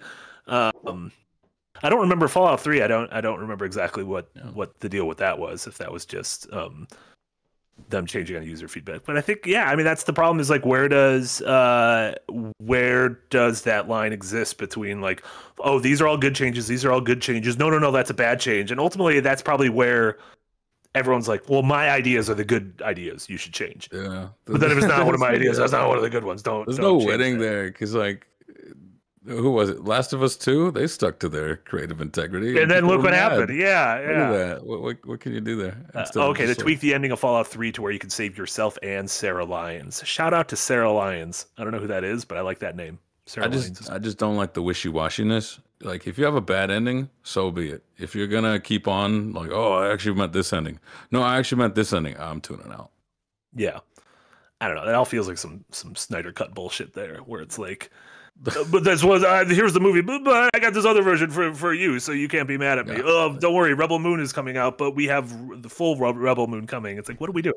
Make a What- what is this? The only, the only cool time that this was done was with Clue because it was a cinematic release and they had three Yes. different endings and, and Yeah. you never You knew what didn't you know. got. So you'd be talking to your friend and you'd be like, What are you talking about? No, the murderer was this person, not this person, which I think is great. Yeah. We need more of that. We need more endings. Games need to have a bunch of different endings we don't even realize, and so we can all just argue with each other. I'm not just near. That's just near. That is just near. But we don't know. Like we should get to the end of a game we don't realize has multiple endings, and then the two of us start arguing because you're like, That's not what happened at the end. Like Who's it. to say every game doesn't have that? Fucking take a big old bong grip. Big old bong grip. Fox D with a five dollar dono. Thank you so much, Fox D. Quote from and by the community. End quote is how uh, every indie craft them up turns into either Stardew Valley or Animal Crossing. Its lowest common denominator design. Yeah, that is a big. I always cheer on the little guy, but some some indies do go in with a sort of like, "Here, I did this for you. You owe me. I'm owed something." You know, it's like, oh, you, that was kind of the wrong attitude to come in with, unfortunately. Yeah, So just, yeah. just make your silly games. You know, make them silly. Make them you. they do need to make them more silly. That's all you can ever be in this life is you. There's a lack of silliness. Uh, Alex Armstrong with a two dollar dono. Thank you so much. How about Sega owing us more good Sonic games? They don't because the last one they released, not the last one, the one before it, Sonic Frontiers was great. They'd have to release a good Sonic game first. They'd have to Sonic start. Frontiers was great. We all agree about it. All of us are like, man, Sonic Frontiers was so neat. Remember when he went through all those sad lands? And then did the did the ring thing where he dropped his pocket change. Oh, Yeah, love it. Love it when he drops his, his pocket change. that's all I ask. That's all I ask. A lot of room to run and coins falling out of me. Yeah, exactly. Uh, room to run and coins falling on me. Uh, Jirijan, uh, thank you so much for being in the Green Gang. I'd argue games are even beyond art. It's great. Beyond Beyond- art. The vegan alternative. Beyond art. Super art. Beyond the the vegan alternative to art. Oh my Yeah. god. because of the That's interactive right. nature and how it involves like ludic play and how it's a personal experience. It's deeper it's than beyond you know. I think it's just. I think it's just maybe? art. We don't need to put it above or below Mm. my films and my TV programs. Well, as a game designer, I'm all for putting it above TV and film. You know, let's no, go. give me, don't give, give us rule- credit. Movies rule, games rule. Even even Kojima doesn't play that much, so I don't know. I think he's ruled. I on cannot film. imagine Kojima playing a video game. I can't either. Not normally. No, I don't No, believe not- he's not played like a one. normal person. No, well, I Probably wonder what the last game he's played is, because we know what the In- last ten like thousand movies he's seen is. But He he loves inside. He thinks it's he loves the most inside. That was the last thing, because it's the most game. Uh, and uh, Remerald D with a ten dollar dono. Thank you so much. Oh, Mister Emerald, probably. Memorable. Oh, you Remerald. Well, they, the E should have been capitalized. Remerald. Uh, wanted to leave a little thank you, Marty. No idea why, but hearing his writing and presentation on his Dark Souls 2 review back in the day when I was 13 inspired me to write, which is actually now my job. Uh, Mr. Emerald, that is incredible. Thank you so much. Oh, yeah. Man, my Dark Souls 2 So review. nice. That might be. That might be. That is literally 10 years ago to the day. That is Are March 11th, 2014. I was like, man, this is like that was like yeah, because this is HBD Dark Souls. Uh, Dark Souls Two is this week, and so yeah, ten years ago today, reviewed Dark Souls Two. Nine out of ten. Get fucked, everyone. I probably was that was probably a little too high if I'm being honest. Yeah, you Probably should, like, that. drop this down. Absolutely. Yeah. yeah, that's just like a seven. Yeah, probably. No, I think better than a seven. If a seven is good, good and an then, eight is great, seven is. I was good. Listen, I beat Dark Souls Two fucking pre-release. No help. I didn't know what was going on in that game. Let me tell you, that was a hectic time. That Oh, was yeah. a very hectic Like time. When we got Elden Ring, it was it's Wild West. You're like, what is happening here? Yeah. Uh, thank you so much, Mr. Emerald. Uh, Matthew C. Snow, 499 Dono. Thank you so much. I do believe that there's often an issue uh, of a vocal minority. Probably the big, biggest example is Overwatch doing big changes because of the esports. That's another big thing. Is do you cater to the competitive or do you compa- c- like cater to the you know to the casuals? It's iffy when you add money, right? Like Yeah. it, when there's money involved in stakes and there's imbalance, you know, the the pros do kind of have are warranted in saying, "Hey, these things are imbalanced. It's ruining the the sport," right? Mhm. And those they do arguably somehow know the games better than the devs in some cases, right? Yeah. But that doesn't mean those changes need to be made because a lot of the times when you buff stuff for pros, um, it will make the game a lot worse for casuals because it can be abused by you know the casuals, but the pros it, it can't, or vice versa. You know, I'm sure you've seen loads of this, Frost. Yeah, yeah. But I was thinking, I just if Nintendo showed us anything, is uh, casuals first, uh, competitive is inevitable. You know, If Competitive will follow. Yeah, they will follow if they've got the competitive spirit in them. Um, they'll be there, even if you're trying to sue them, even if you don't want them there, they will show up. Whereas other games go for esports first, and they just die because it's not fun to play. You know what's weird? Speaking of Nintendo and competitive, obviously you've seen competitive Smash, uh, Yeah. Seen competitive uh, Splatoon, speedrunning games. I've never seen competitive Mario Kart. What? I mean, I know Jay, you just did that video. It's because that game is like bullshit, but like, it's like No, one of the most popular games ever. Like, and I've never seen. both ways. You can abuse the absolute living hell out of that game. You know, like sandbagging, which has been nerfed. So that's Yeah. a interesting thing. Uh, chat, if you don't know what sandbagging is, it's when you deliberately hang back in the, uh, I think it's the lower three positions to guarantee two extremely powerful items, and then you use them at the beginning of the last lap, which propels you to first place. Because your driving skill is actually really good. You're not actually a player who's going to be in last place, Yeah. and you basically automatically win because the game gets you to that point. So. I think a lot of the times the game isn't playable in a competitive setting if there are things like that, you know, because not everyone can do it.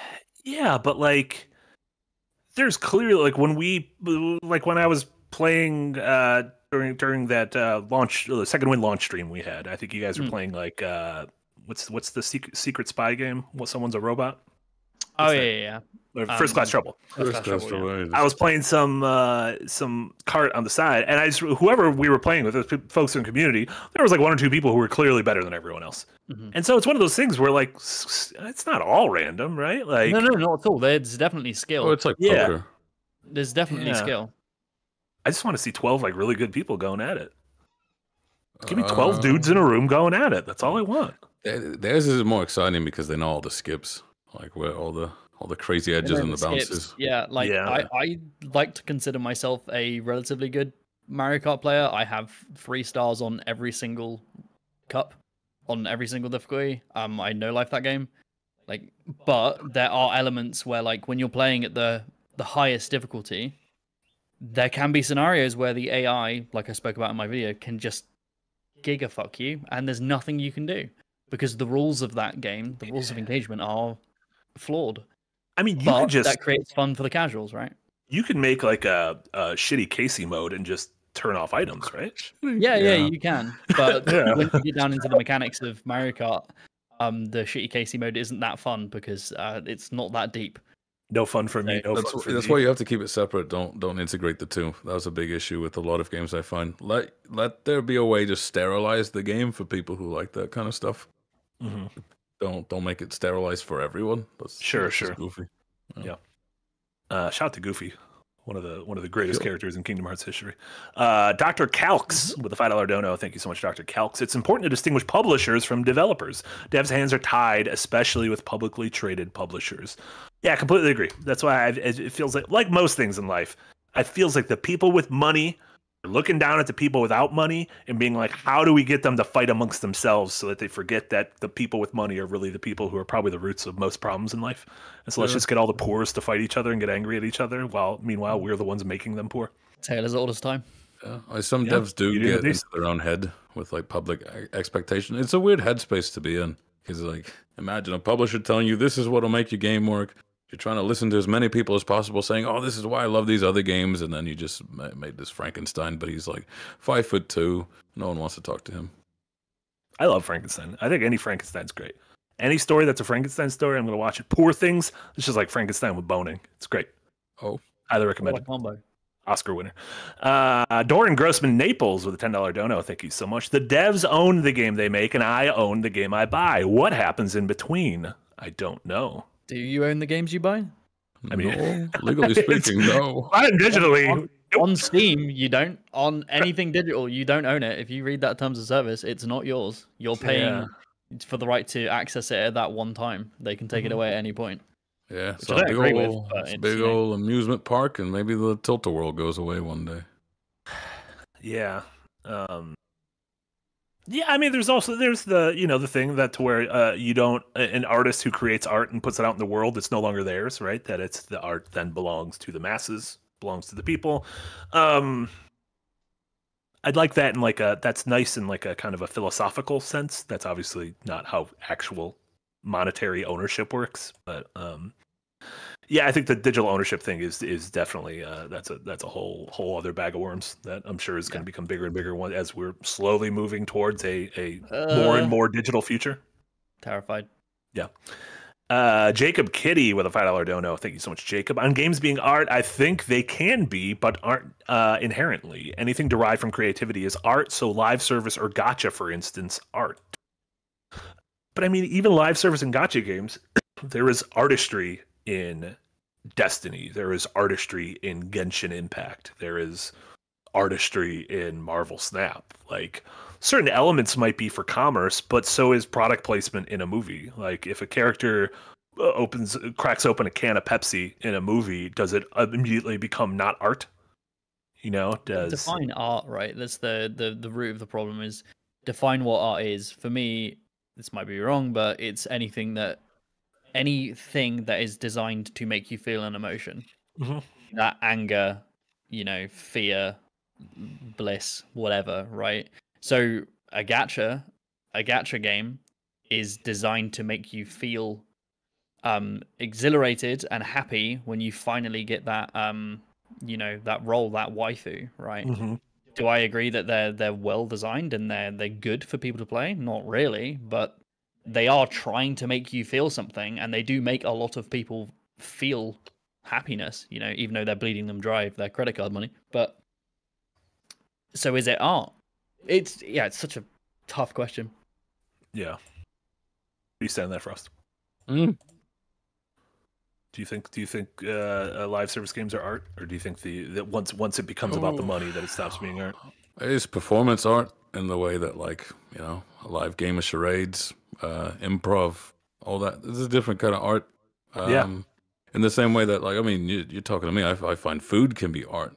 You know? absolutely. uh, all these kinds of disciplines, uh, all these kinds of ways that you are trying to uh, get people to feel things or empathize with, with something or just get immersed. I, I, I think so, but it's just games are so weird because they just they exist in such an odd space between like it is traditional art, it is a product, it it, it can um, what is artistic and what is actually just psychological hijacking of the brain, right? Is that art there? So I'm like, well, like, Yeah. what, what can I do? It's hard. It's a difficult. Yeah. Agreed. Uh, James Degan with a five pound dono. Thank you so much, James. Uh, Indie Dev here. I don't think that an artist owes an audience, but it does pay uh, to listen to their issues, not solutions, as they are ra- uh, rarely well informed. Uh, I completely agree with that. Yeah. Well said. Um, then creating a wall around yourself and just going, no, no, no, no, no, I don't want to hear it, uh, isn't a way to. Like we've seen those successes of you know that's that's part of the appeal of early access right? Is being able to bring in that feedback. Like the the reason hades was was released in 1.0 in a state where it won a bunch of GOTYs is because it had time to cook in early access and supergiant had time to you know listen to feedback incorporate the stuff that they thought was would be good for the game and filter out the stuff that they thought would be bad Yeah, it's free playtesting, right? Yeah, Like when exactly. you release your game, it's free playtesting. The audience is going to tell you what they think, and when you playtest the game in development, you know whatever stage you're at, you'll have people, even if they're working in QA, who are kind of misinformed, and the feedback they're giving is just kind of wrong. Mm-hmm. But it pays to listen to it because it might inform you of some flaws that you don't see. Because Frost said it at the beginning, developers historically get stuck in their own heads because they're artists. They get obsessed with it and they stop seeing the positives and they stop seeing the negatives, right? And you need other people's eyes to point you in the right direction. But Yeah. it doesn't always mean they're right. especially if you've been on a project for half a decade, the better part of Right. a decade. Like it isn't. I get, uh, Helldivers is a great example. I'm uh, sure within the first 48 hours, they probably had more quote unquote playtest hours logged in than in the entirety of development, just by Exactly. virtue of a game that sells 100,000, a million copies. Like Mhm. just by virtue of those numbers, like you you can't pay for that kind of playtesting beforehand. they stress test the servers for them. Yeah, jeez. Um, James Degan. Oh, James, I already read yours. I fucked up. I'm sorry, James. You're great. Uh, Robonob back with a 5.99 euro dono. Thank you so much. By the way, thanks for not calling this quote. What do publishers owe us? End quote. Or I'd be burning through my salary on super chats right now. Oh my god, we need to change the title. Let's do another one next week. Robonob's gonna empty the 401k. We're just gonna have everything. Uh, early Berm with a $20 dono. Thank you so much. Hey, Ludo's dad. Realistically speaking, I want a new Dynasty Warriors like the old ones from PS2. The new releases are buggy, lazy messes, and have been for years. Can we kickstart this kind of thing? I mean, I mean, yeah, we can. Dynasty Let's- Warriors. There's let's some go make it Musous now. in it. does anyone else make Musous? Or is like Musou is just one company make all the Uh, Musous? Is it There it was the Zelda one. It's kind Yeah, but it, I think it's just like those are all like by the same folks, Same right? people. oh, yeah. that's like Roland Zelda, the Persona one. Yeah. I think it's Koei. Maybe there's some weird suppose. patent they've got on some mechanical stuff, and that's Yeah, like, like, as soon as you have them 100 dudes like on your screen, Warriors. That's ours. So Musou- Can't have more than 100 dudes. so, uh, what was it? What's that one with the zombies in the mall? That you're running them over with Dead Rising. trike? Yeah. Dead Rising's a Yeah. Musou. yeah, that's him also. Uh, James uh, James Degan back again with a ten pound dono. Thank you so much, James. Uh, folks said to remove my core mechanic, a rear view mirror in a first person shooter, because they didn't get it.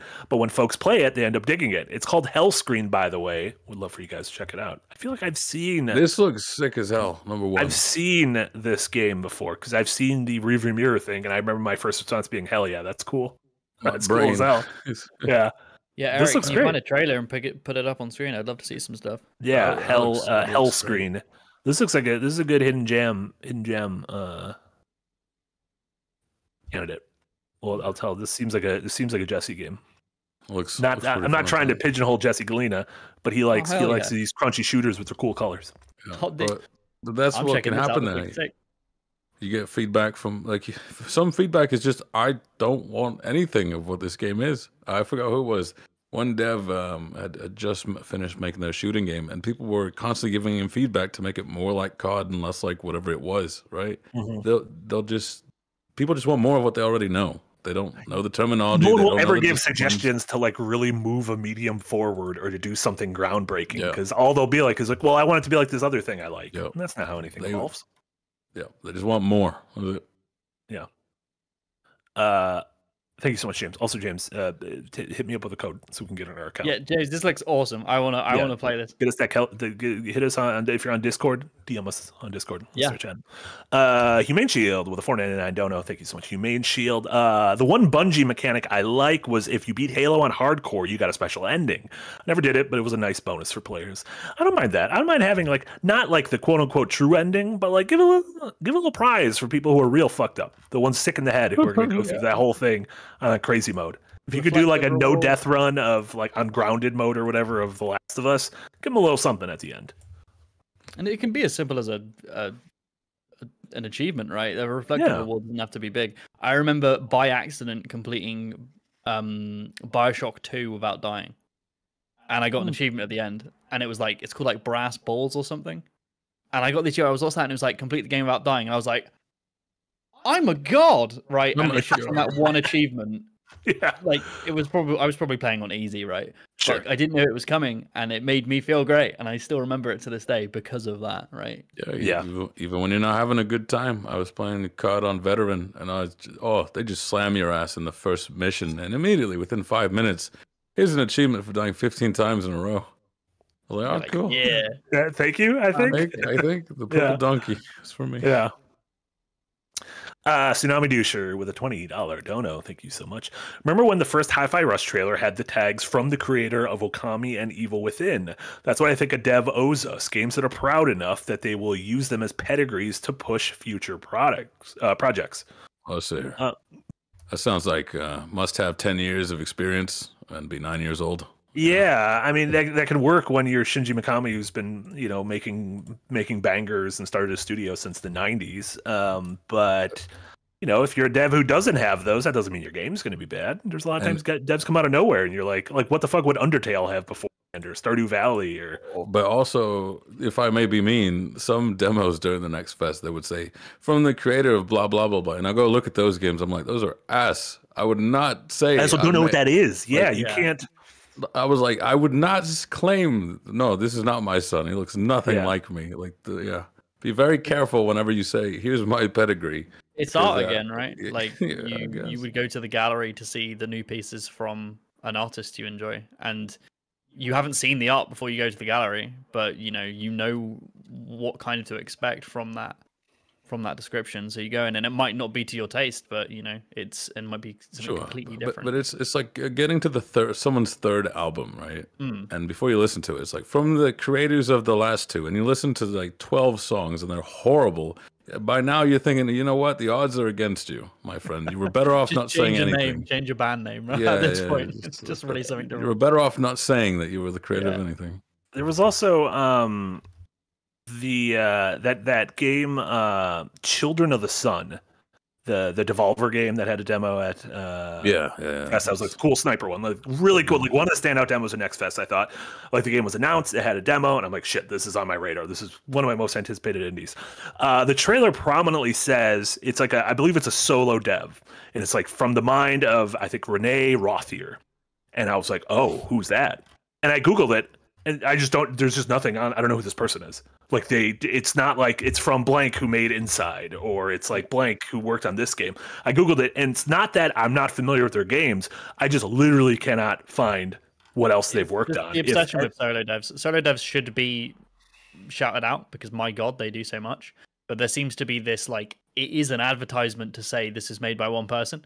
So when they Oh, just so you think it's more of that? It's less about the an person and more of advertisement, like getting eyes on like, oh shit, this is a solo dev. This is one Yeah, person. yeah, yeah, no, for sure. Yeah. Mhm. Also, like if you don't like it, it's their fault, not mine.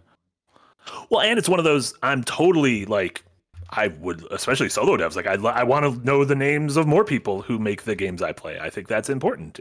Like understand the artists behind the art. Um, it was just one of those where I was like, oh, this is a weird like, you know, marketing move when I don't know who this person is. It's not like being like from the mind of Steven Spielberg. I was like, I just don't know who this is. Yeah, maybe it's. was the But maybe that's the thing. Maybe I will learn. Yeah, Yeah. I mean that's confidence right there. Yeah, like, yeah. Look, people are gonna know your name. They're gonna want to keep that name. Yeah. Also, just kind of fit the aesthetic. You know. Yeah, yo, no, I it was a great trailer. I loved like my thing was less a uh uh you shouldn't do this and more of I was just kind of confused as to why. The game looks fucking cool The though. wording If thing. one person made that, hell yeah.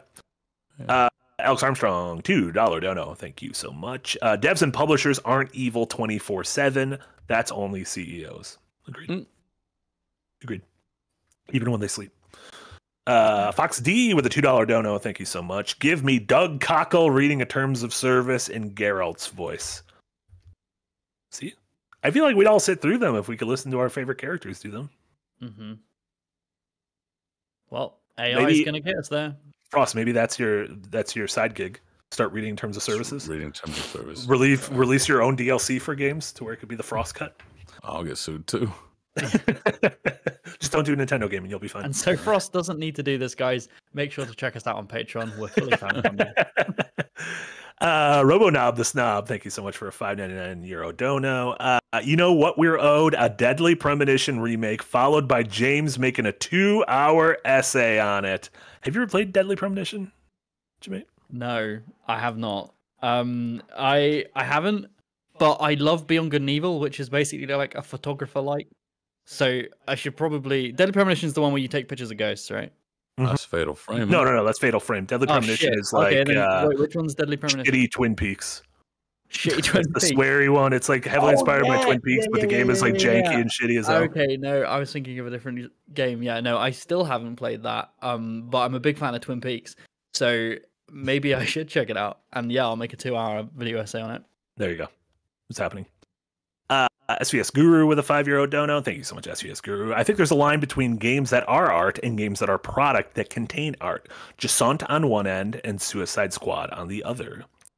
I don't think. I think that's just that's there. That's a game that's good and a game that's not good.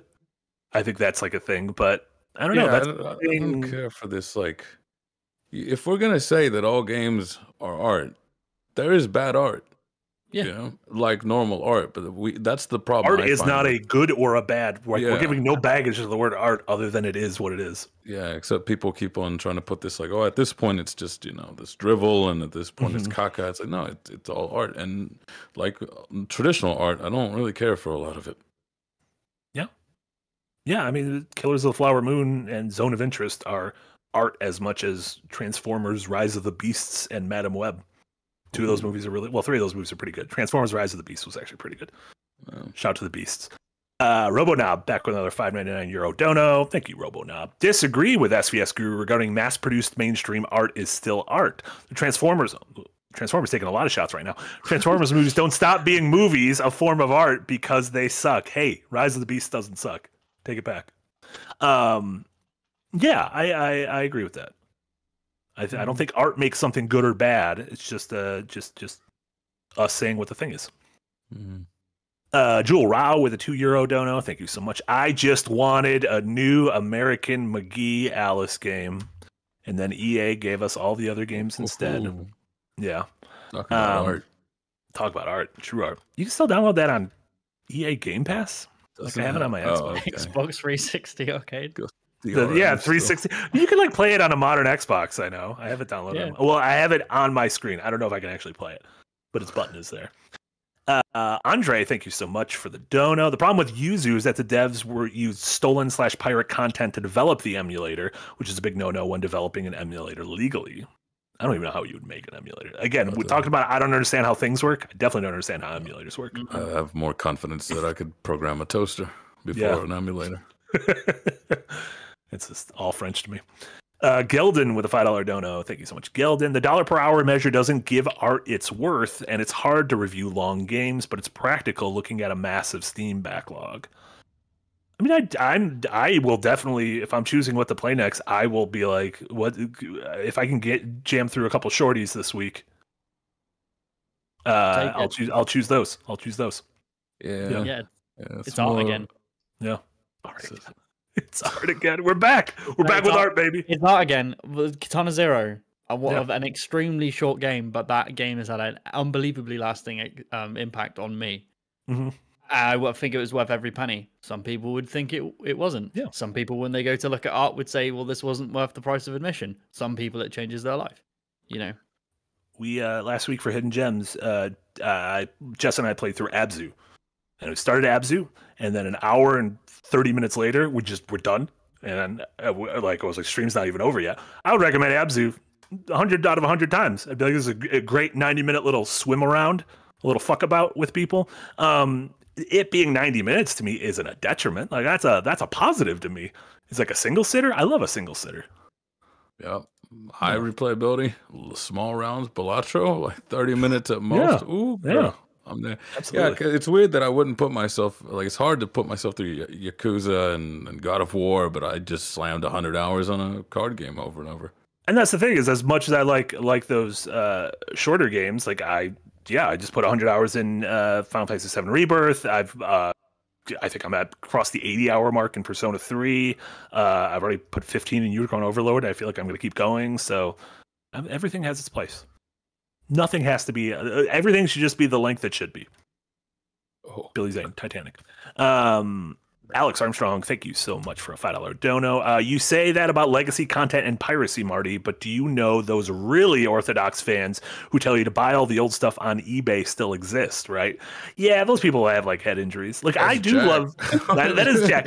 Yeah, but that's one of those things where like. I do. I like. I've gotten back into like. I'm. I'm like gearing up my Dreamcast uh, uh, library, and I bought some fucking PS2 and PS3 games this weekend. Um, and I like it, but like, I don't know. At a certain point, like, if it's an ethical thing, it's like, well, it's not ethical. You're just giving money to a dude on eBay. Like, the creator doesn't get any of that money. If you're buying a game got used, like money, ethics yeah. kind of go out the window there at that point, right? Yeah. Maybe. I don't know. Who knows about ethics? I'm not an ethicist. Um, that's a real job, right? Ethicists. Yes. Ethicists. They, Uh, they put the Yeah, jelly be in the donut. sleep, right? Yeah, the exactly. Uh, Itor, thank you so much for the dono. Hey guys, just caught the stream late because of work, but I wanted to congratulate Frost and JM8 for the insightful and thoroughly entertaining work on Cold Take and Design Delve. Ludo for being the strongest and cutest doggo, and Marty for avoiding prison with Yuji Naka. Look at us. Who says I've avoided prison? Maybe that broken that broken door is just a, a it's the the wall door I share with Yuji Naka. It's the rest of your cell, yeah. Yeah, exactly. For Yuji Naka. Hashtag for Yuji Naka. Uh, and thank you so much. That was a very, very, very kind word. It was a lovely comment. Thank you so Yeah. much. Uh, Lady Luminous has been a member for two months, using the green comment to say uh, placebo balancing. Uh, does that mean a lot of balancing is an illusion? Oh, balancing is an illusion to a player. Thanks for all the work you're doing with Second Wind. Path- uh, placebo balancing. Yeah, I mean, This- do we?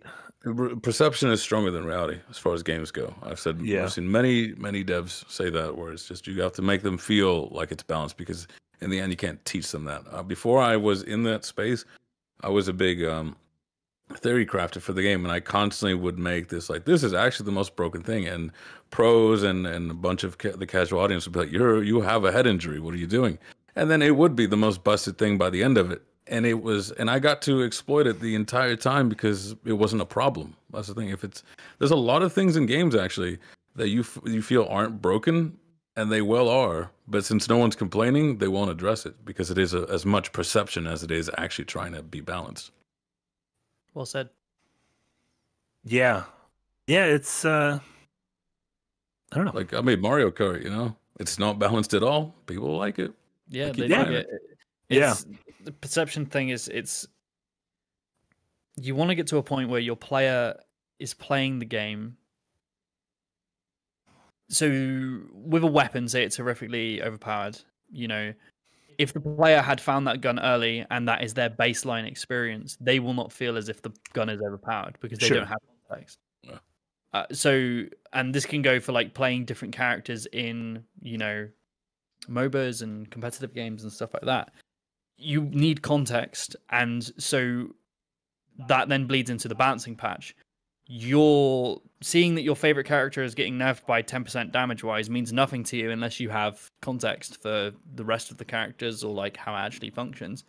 Um, and this is one of the reasons why I think like putting direct numbers into your game is really dangerous because players can measure that shit. And as fun as that is for the 10% of people who do want to measure how much damage they're exactly doing, Yeah, you get scrutinized heavily. And, you know, oh God, Jay's talking about WoW again. WoW's famous for this. You can see the damage numbers of every single person you're playing with if you get add-ons and you know you can directly see it and i think that has a lot of toxicity it allows lots of toxicity towards the devs for not balancing things perfectly you know i think in a lot of ways like with final fantasy 14 they don't have damage numbers or they don't allow add-ons for that and their community is probably a lot happier for it so Yeah. And I mean, with the placebo effect thing, you have to take into account that so much of games are broken mirrors, like are a magic trick. Um, oh yeah You know, there was that story that blew up a year or two ago about the, the, the I think the guy from Bioware was like, oh yeah, for to make the horse feel fast in Dragon Age, we just added speed lines. Like Yeah. when you were on the horse, like you weren't moving any faster, but you thought you were, and no one complained. No one was ever like, "Wait a minute, I'm not moving any faster on a horse," but you thought you were. And ultimately, you've these things are, me You yeah, I mean, if these things are magic tricks and you believe it, then isn't that the important thing? yeah Yeah. Um, play games with your heart, not with your brain. Don't do that either. Probably use both. Uh, Alex Armstrong with a two dollar dono. Thank you so much, Alex. Uh, Yu Suzuki owes us an end to Shenmue. After playing Shenmue three, uh, I will polite just politely decline. We don't need we don't need an end to Shenmue. You don't. You don't need. I think we're fine. Shenmue one can uh, can just exist in my heart, and it'll be fine. Uh, Jewel Rao with a five euro dono. Thank you so much, Jewel. I want Marty's reviews to always contain the no, the number of save slots, how many unicorns there are in in Overlord as well. Shout out to Balatro also. I am weak now. Oh no, you've been Balatro pilled. gang rise up Imagine we're gonna let's measure games by save slots, eh? Yeah. So, Unicorn Overload or Overlord 100, Balatro 3. Yeah. Oh, Yeah, no, fucking I Elden Ring one. Get the fuck out of here, Elden Ring. Yeah, no, I guess got- you could roll a new You've got- character. You've got, yeah, you got new characters. The Last will Guardian's have- one. Last Guardian only has continue or start over. damn So Last Guardian's Don't the a worst lot game of ever. those like cinematic games only have one? Get the fuck, get the fuck out of here, Fumito Ueda. Give me a hundred The- save files. the second game I'm working on, I can't talk about because it's under NDA, but uh, it does not have saves. There's a hint for what it is. But I will make sure that there Sure. is a secret save location, Marty, and I will have infinite saves. I love it. I love it. I love know. it. So I Beautiful. get a high second win score. ten out to yeah, ten out of ten. His Yeah. poor, his whole poor hard drive. Uh, Yeah, poor, poor. crash Arthur. it. If you, poor, if you poor access bro. that screen, your computer explodes.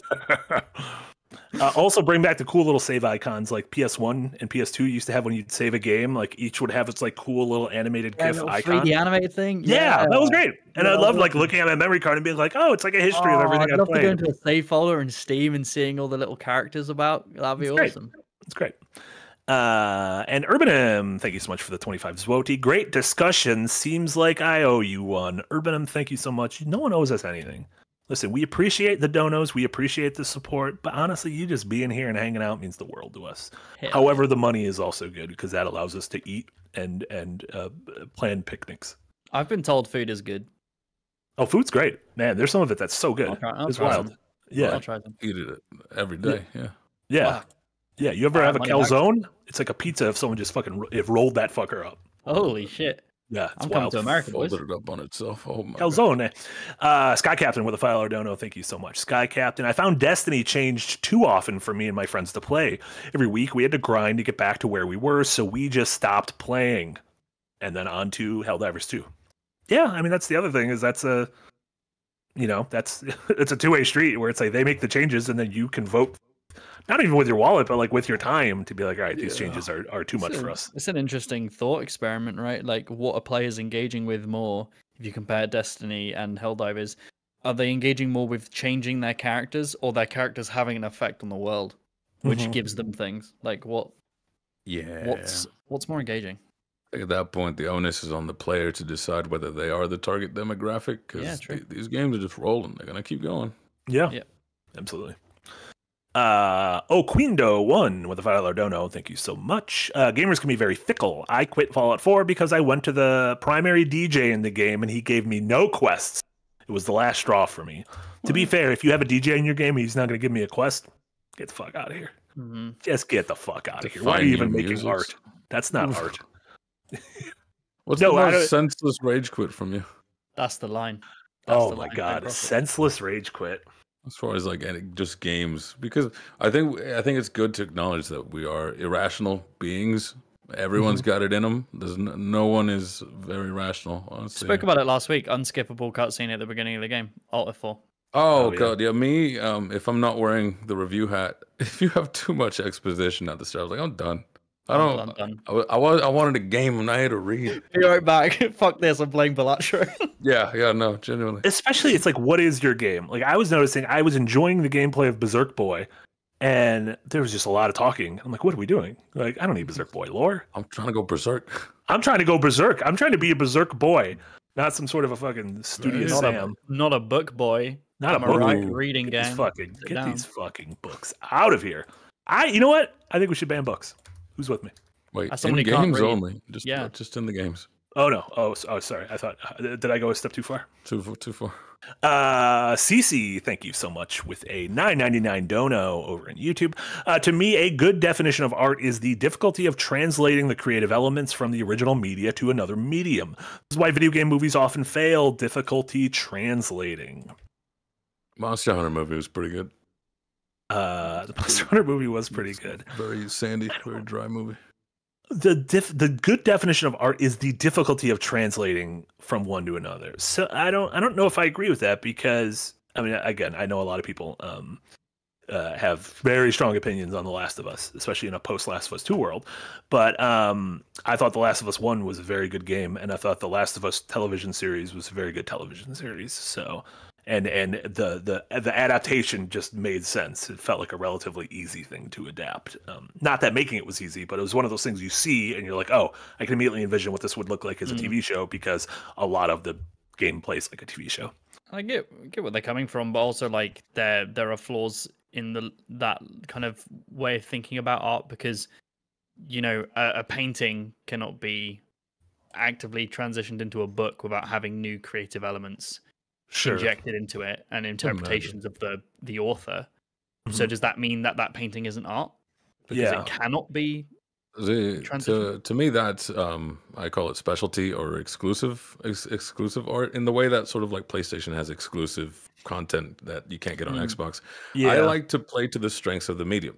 I I I love, but not the best books, but if it's a book where I go, I can't see this being a film, I can't see this being a game. I love those more. Games where I go, this could not have been a book, this could not have been a movie. This only excels in this space. Those are my kind of favorites. Same thing for certain films, and so that's that's just another tag onto it. Art Yeah. to me is is more of a is more of a state of being than any sort of actually any quality. Where it's just like it was made by a human trying to express something. Boom, that is just art. More so like if good, but then there's good art, bad art. Yeah. a lot of Mm. bad art. There's a there's a very there's a very large amount of bad art. Yeah, to be honest, most art is bad. That is bad. Yeah. yeah, art is bad. Uh, the Piss Bandit. Back. I don't know. Thank you so much, Piss Bandit, and has stolen our piss. Uh, Ten minutes reading the layman's balance uh, takes on a MOBA subreddit really makes me wish devs stopped communicating so much. hmm I mean, that's the it's a double edged sword, right? Yeah, yeah. You don't want them to just go radio silent, but at the same time, it's like is I don't know. It's almost good though. If you go, if you give them the cold shoulder, they'll get more rabid and more rabid, and any sensible person will start to also ignore them because it's like, oh, they're throwing a fit. I'm just gonna. Yeah. You, you Yeah. can't. You can't be transparent. The only thing you can do is gaslight the worst part of your community into being seen as irrational and, and like senseless. Uh, and hmm. the, and the devs don't in my experience, the devs that I know are either obsessed with it, like looking at the feedback and wanting to get everything, or they ignore it. And this is why community managers exist because they're there to sift through that shit. And if there is something that is viable and oh, we kind of really do need to take this up the ladder and take it to the balance team, they bring that. So then, you know, if you're working on a massive game or MOBA, as a balance as a balancer, you don't have the time to read through a thousand comments on this Mhm. obscure character's, you know, function and stuff like that. So Like, um, does Skull and Bones have a community manager? Do they talk to their community? I do hope they have not a for this. dev sake. team anymore? I, I don't know, but like if anything, it kind of works. This whole yeah, God is dead feel of this game, and they're just gonna do whatever it is Wild West, want. baby. Because every time I keep seeing these people aggressively like this game is so bad, oh my god, it offends, and I'm like, it's not. It is. It's just eh. You, you look a little heated, bud. You know, so it's Yeah. kind of it's kind of good to not have that back and forth in, in their case. Except the good old Yves Guillemot, whatever his name is, should have definitely not said the quadruple A thing. Less Yeah, that's- transparency, less. That was real dumb. Uh, yeah, I feel I I uh, have so much respect for community managers because, Oh, like yeah. like Jay said, not only you're not fielding. It's not just that you're fielding rational feedback. You're also fielding ninety percent of feedback from completely irrational people who then border into just like, oh, you're just like racist and awful. like you're getting like death threats to your team and everything, and so that is. uh I don't know that that it's, community managers do not make enough money. It's like customer service. It's just like that's hell. It takes a special breed of person to work in that field. Yeah, and then after ten thousand things like that, they snap back once, and it's like, oh, that's unprofessional. How could Oh you? yeah, you sh- you deserve to be fired. You don't even know.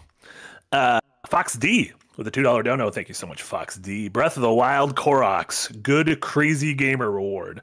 Find all nine hundred of the Koroks, and you just get a golden piece of shit from Hestu. I like it. That's like the truest Nintendo has ever felt about like the people who play their games. It's like, oh, you're really gonna run around and collect 900 of these things? All right, here is your here is your prize. It is a golden piece of shit that has no That's mean. gameplay love mechanic whatsoever. I love support. that. Yeah, the same thing with sort of uh, Miyazaki, the filmmaker. Of like, I don't want you to stay in this world. It's about leaving this Yeah. world and, and coping with the real world. What is Yeah. escapism if you're always here? Yeah, Then where do you escape? yeah, the good shit. You watch the man Uh, at his nine to five. That's what you oh, do. yeah, there you go. Nine to five Uh, is my escapism. yeah. Uh, Piss Bandit back once again to steal our piss, which is good because I have to pee. Uh, Five dollar dono. Uh, forgot to say this, but also R.I.P. Akira Toriyama. Uh, yeah, we we talked about this on Friday, I think, before our uh, Unicorn Overlord stream. But yeah, passing of Akira Toriyama, the famed uh, creator of Dragon Ball, Dragon Ball Z, artist behind uh, Chrono Trigger and uh, uh, Doctor Slump and Sand Land. Just an absolute icon, like right, like one of the most influential people on on pop culture in my life. Earth. Yeah. seriously. Um, so um, yeah, Rest in RIP to a peace, real one. dog. Uh, Fox D with a two dollar dono. Thank you so much. Weak, many saves, strong, one save Iron Man mode. I don't want to be strong. I want to be weak. I want to be fickle. I want to diversify said- those bonds. You saw the complaints that Hellblade got when they said that. Oh yeah, Gamers, I- you know, yeah. they don't want that. Gamers don't know what's going on. Gamers be tripping. That's what they say I'd about like, gamers. I'd like to. There should be a game where it's just like once you've played it, or like that's it. It it just it's gone. It self destructs. I would love that. I would love that. no one can ever play it again. Miyamoto or someone comes to your house and just snaps your disc in half. Damn. Yeah, that'd be real. Uh, Impy with a two euro dono. Thank you so much, Impy. Abzu made me cry from how beautiful it was. Ten out of ten. Impy, it's great. It's, the best swimming in any game ever. Oh, gamer tears. Best Yeah. swimming. No way. Best swimming. Tell me a game with better swimming. Uh, I'd call you a The last- fucking liar. Listen, Last game to make you cry. Game Mario. is what was it? last game to make me cry. What game made you cry? of Last game. oh, Venba. Woo. Called my mom afterwards. That got me because it was it Oh. was so niche that one. the a game hasn't made me cry in a few years, but I feel like I cried during like probably ten games during the pandemic. But I think that was more of a me thing. During, uh, I was like, look how beautiful my island in Animal Crossing is. I haven't seen my Oh. friends in six months. What were you crying? The Avengers. What were you playing? Uh, no, it, uh, Final Fantasy VII remake came out. Jesse Dying remake, uh, was- and uh, Spiritfarer came out. What was that live service game you picked up The Avengers. during Avengers. the pandemic? Avengers. Yeah. Just, yeah, Weeping. I miss my Avengers. Mine was uh, Ori and the Will of the Wisps. The ending of that game That's a did me good in. one. That's a good one. Sad. Fucking Ori was good. Have you seen anything about No Rest for the Wicked? Uh, Moon Studios next game. Uh, no. looks I good. yeah, I I love those. I I love those, but I've got a bit of a death of the author thing with the uh with the Moon with Studios. that, with that team. So I gotcha. yeah, I won't go Mm. into it, but Yeah. I know some things. There you go. Tried. Um, Crying for that now. Alex Holly, four ninety nine. Don't know. Thank you so much, Alex. Uh, do you think live service devs should share uh, should char- change a character one percent a month until uh, where they want it, not tell anyone and get less roadblocks, like death by a thousand cuts, kind of? Uh, I don't know. Well, thing is, gamers don't. They want their games to always be in a state of fluctuation, Hmm. and so if they can't feel it, they might get blowback. Sure, sure. Even when in the end they're like, "You miserable gits, every last one of you." He's actually been buffed by twenty percent in the last twenty months. You just didn't feel it. And- yeah, and yeah. like, well, he needs more. You know, like it is their perception rules reality. So uh, they, they will get blowback because it will feel like they've done nothing. Yeah, yeah. Yeah, I don't know. That's a yeah, that's an that's an interesting way to put it.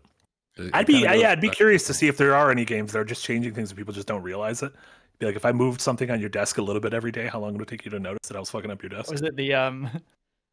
that Stephen King says true horror is coming home from work and realizing all of your furniture's been moved two inches to the right. Yeah. And be like, wait, is this real or is Who this would notice that, right? And that's like, Yeah. who did this? Why have you done this? Yeah. You know, Yeah, yeah, I'd know because of all like the mug stains. yeah. there's The mug stains mug- everywhere. Stephen Yeah. King's in it. What's happening? Stephen King did it. Uh, that's funny. Um, da, da, da. Thank you so much for the dono. Uh, Jay Ansell with a two pound dono. Thank you so much. Marty, do you like a burger from McDonald's? Uh, I don't have McDonald's uh, non breakfast very often. I don't. I don't mind. And if I get a burger, I'm not like Big Mackin. I'll get like a. I'll get like two cheeseburgers and I'll get extra pickles and extra onions on them. Oh, Then I the feel like boy. gotta, Pickles, gotta make good them man. Gotta. Mm. Uh, the one thing I and I probably I have McDonald's probably like once once a year. One thing I do fuck with. I like McDonald's breakfast. I like their hash browns. Mm. I like a sausage biscuit. I think it's only like two fifty. Nice little combo there. That's not a bad deal. Damn, It's yeah. like, like two breakfast burritos for a dollar. Mm. See, can't fuck with that. Uh, thank you so much, Chance. Fred E with a four ninety nine dono. Thank you so much, Fred. Uh, live service games should last at least a year or two. Otherwise, what did we buy? I mean, I'm sure they all intend to last a year or two, right? Yeah, that's the problem there. Is that they're selling on intent. The intent is to last forever. Yeah. Oh, if You- you've bought a game will. for sixty dollars and it lasts you a year of gameplay, that you you've got more than enough out of that. Yeah, like I was Right. done with Elden Ring in a month. Yeah. Yeah, like you, you if you're talking about like how much is a game worth, like oh, every hour of gameplay. I have this argument with people all the time, like because I'm an am- avid MMO player. People are like you pay like nine ninety nine a month to play this game, and I'm like, that's less than a cinema ticket, and I play this game like five hours a night Yeah. every day. like, like Dude, I get my money's worth from this, and I'm helping support keep the servers up, get get new content, stuff like that. Like for me, it makes sense. Like you're getting your money's worth. I think the conversation of dollar to hour comes up more when the economy's in tatters. Yeah. Because when we, we when we have money galore, what do we care? You know. Jesus, Ludo, you're going nuts back there. She yeah, she she doesn't like it because I sit here and I you know work on design delve all day. just I'm silent. as soon as I start talking, she's like, "Oh my god, it's go time! Like it's it's time." No, to, this is not. it's Sorry, play." this is not good time. It's almost go time. Don't worry, Ludo. Yeah. Uh, Just Doc with a ten dollar dono. Thank you so much, Just Doc. Marty, Josh Jacobs is a Packer. Any thoughts? Also, why would anyone pay Kirk Cousins 180 million dollars? Sorry for being off topic, but I had to share. Just Doc. That literally happened during this. This is big news for me. Uh, if they keep uh, uh, Josh Jacobs and uh, Aaron Jones as a one-two combo, that is crazy. I have to imagine AJ Dillon is gone. Um, but that's a crazy one one two combo. Also, I saw that the Bears signed uh, D'Andre Swift, which is also exciting. Uh, get a little Caleb Williams in there, get a little D'Andre Swift. We got it going. I'm not saying 17 and 0 for the Bears. I'm not saying it. However, I'm not not saying 17 and 0. So I'm putting a lot of rebuild money on 17 and 0. All right. I'm saying. I'm just, I want to become. My goal this year is to become a de- degenerate gambler. But I mean, you got to start somewhere. I started. Some, I made some money. I'm gonna be honest. I made some money last night in the Oscars. Let me tell you. Thank Wow. you, thank you. Praise be to Hayao Miyazaki, winning that winning that beautiful best animated picture. I was like, what was the ROI? What was the ROI? I didn't, I didn't, I didn't put a ton of money, just a couple different props, and uh, they paid out in the end. So I was, in, I was in, I was in the clear. Because I used I used to do that for the CS:GO lounge, but I would always I was always really decent for it. But I hated that the payouts were so low for being right. So I was like, all right, I'm only going to show up for the underdog ones that I think are going to win. I'm going to put down everything. Some real sicko shit, and then Yeah, put a lot oh, of yeah. money on Nate it. Frost, you've cracked gambling. that's, yeah, that's no. exactly. and I made a, and I made a lot, and then they stopped it. I was like, well, there we go. I made like 500 Yeah. bucks on that. It was nasty. And I I would just ask friends. I was like, can I have your 18 cent gun skins, like the ones you don't want here? Give me a nice. Uh, Listen, you get on. enough of them, and and you just wait out, wait out the wave. Yeah. Uh, Lauren with a five dollar dono. Thank you so much. Uh, Atlus doesn't owe me anything, but I keep getting Persona therapy. Anyways, between P5R and current playthrough of P3R, 400 hours of P5R definitely changed my life. The Persona games are so good. I'm getting through more and more Persona 3. I'm I'm near the end. I'm I'm I'm at the end of December. Only got a month left in that game, and let me tell you, delightful. It feels like that's Character the deaths hit me hard. Yeah, feels like that's the perception perception of what's owed to us. It's like I got in here because of some at some point in my life I played some crazy amazing game that made me go, "Yes, I want this to be my hobby. I want this like to be something I imbibe in constantly, so I consistently want those highs." That's why mm-hmm. so many like middling games that do nothing wrong come off as offensive. Sure, sure. Like I wanted the high, Yeah. meth light. What is this? Meth light. Uh, also, over in Ko-fi, Just Doc donated. Uh, thank you so much. 13 minutes ago. Thank you so much, uh, Just Doc. Uh, a long time, first time. Just wanted to show some love and shout out to Frost for being uh, from Virginia. I think Marty for getting the idea of Gumby Wing stuck in my head many moons ago. Did I talk about Gumby Wing, like Gumby Gundam Wing, Wing? but with Gumby? And JM8 for rising up my list of favorite content creators. Uh, Thank. Just Doc, thank you so much. Also, Gumby Wing, not bad. Are you from Virginia, right? One of the Virginias? I The, the Western or regular? Yeah, West regular. or regular? Okay. regular. Is regular better than West? I don't know Yeah, anything I, about I don't think so. No, I No, was in the boonies. Rural's a state of mind, so it was just it was a horrible place. Rural is absolutely a state of mind. Yeah. Uh, Gumby Wing. I love it. Uh, and Jay Ansell for the last message ever in Second Wind history. Uh, with a five pound dono. Thank you so much. I read that McDee's has approximately 2,000 different cows per burger slash patty. Mixing those meats, Marty. I feel like this hasn't contributed much to the topic. 2,000 cows for each burger? You know what that means? Takes a village. Takes Wait. a Takes a village. village of cows. Jay Ansel, did you did you post the other Mackies dono? Was that two different Macs? Yeah, Yeah, yeah. yeah, you was- just it was have you just been waiting to drop this knowledge bomb? You're the Like, He's got- McDonald's got Mackey's on the mind. Knowledge on these burgers. Oh, I'm gonna. You got get a on the mind. Oh, yeah, I'm I'm, I'm fine. Like as someone who likes hot dog, I don't know what's going on. Like hot dogs Yeah. have like gym like uh, gym class mattresses, like Yeah, yeah. fucking ground down and put into them, so it doesn't Tastes bother me at all. Yeah, They've got like gator hoofs and gym class mattresses in there. It's yeah. Every, No, I don't mind. Two thousand cows. That just means you got a lot of history in there. I appreciate it. Y'all eating fucking steaks from one cow while I'm here just feeding the village. Hmm. Uh, and six bit with a five pound dono. I lied before when I said it was the last one in, in Second Wind history. Uh, six bit with a five pound dono. Thank you so much. As an artist, the best advice I got: it insults the audience to make uh, for collective popularity over artistic vision. Game dev should always risk making bad art. Well Yeah. said. It could be scary though. I don't know. There's pop art. You know, there's a lot of things that's just like Doja Cat just came under fire because she made uh, like one or two albums where she was like, "I'm just here for the money," and Yeah. they were top top of the charts for the whole time. And then she went on Twitter was like, "I hate all my fans. They just eat this garbage," and they were like, "We still love you though." And so, you know, To be honest, I'm starting. I'm starting to be on Team Doja Cat. I'm liking this. Yeah. Well, well done, Doja Cat. oh, you don't want to be on Team Doja. Cat. Okay, never mind. I re- I've renounced my uh, membership to Team Doja Cat. Um, There I'm sorry go. to say.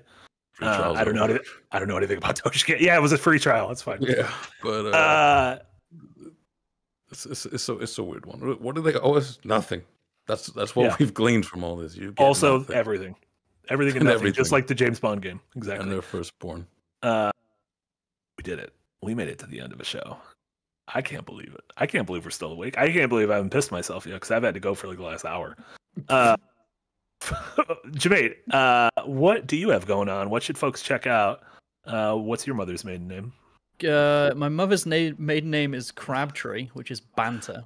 You could have been could have been a Crabtree. I could have been a Crabtree, but it's a bit of a bad name. So apologies to all Yeah. Crabtrees out there, including my family. But anyway, uh, I have streams, potential streams in this week. I don't know. They might crop up. They might, may not. Uh, I have shoot whatever you want, babe. You you give me a time. I'm. We'll I'm fucking have you play right World of. Warcraft. Immediately after this, Jay rants about World of Warcraft stream incoming. That's a joke, but maybe. There you go. So, oh no, you guys uh, are gonna yeah, be streaming uh, at noon on on Wednesday. Yes, we are. Yes. Lullaby of Life. Yes, Lullaby of Life stream from me and Marty, uh, me, Marty, me and Frost Me, March. on Wednesday. Uh, I have a design delve coming out this Friday on the secret to making any game satisfying. So that should be a spicy one, and then What does immediately, that mean? Well, oh, you'll have to click to find out, bitch. Is it is it umami? Yeah, no, no, it's just salt. Add, it's adding a little bit of mouthfeel to it. it's salt.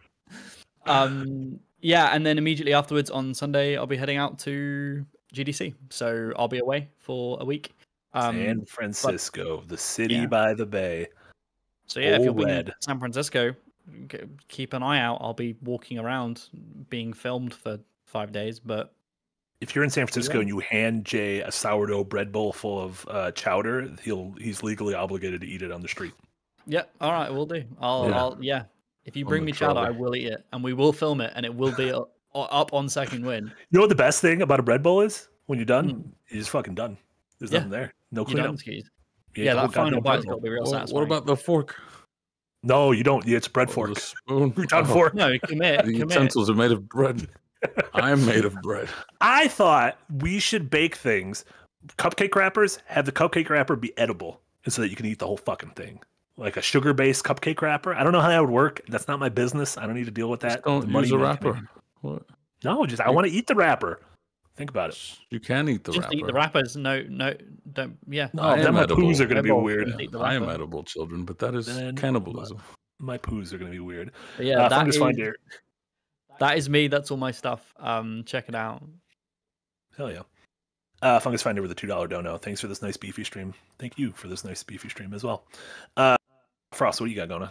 Let's see here. A new cult take just dropped on my latest obsession. 100 hours in climbing on that there Balatro. What's the hype? What's going on? What's this card game? It's Poker 2. Just for you. Go watch that.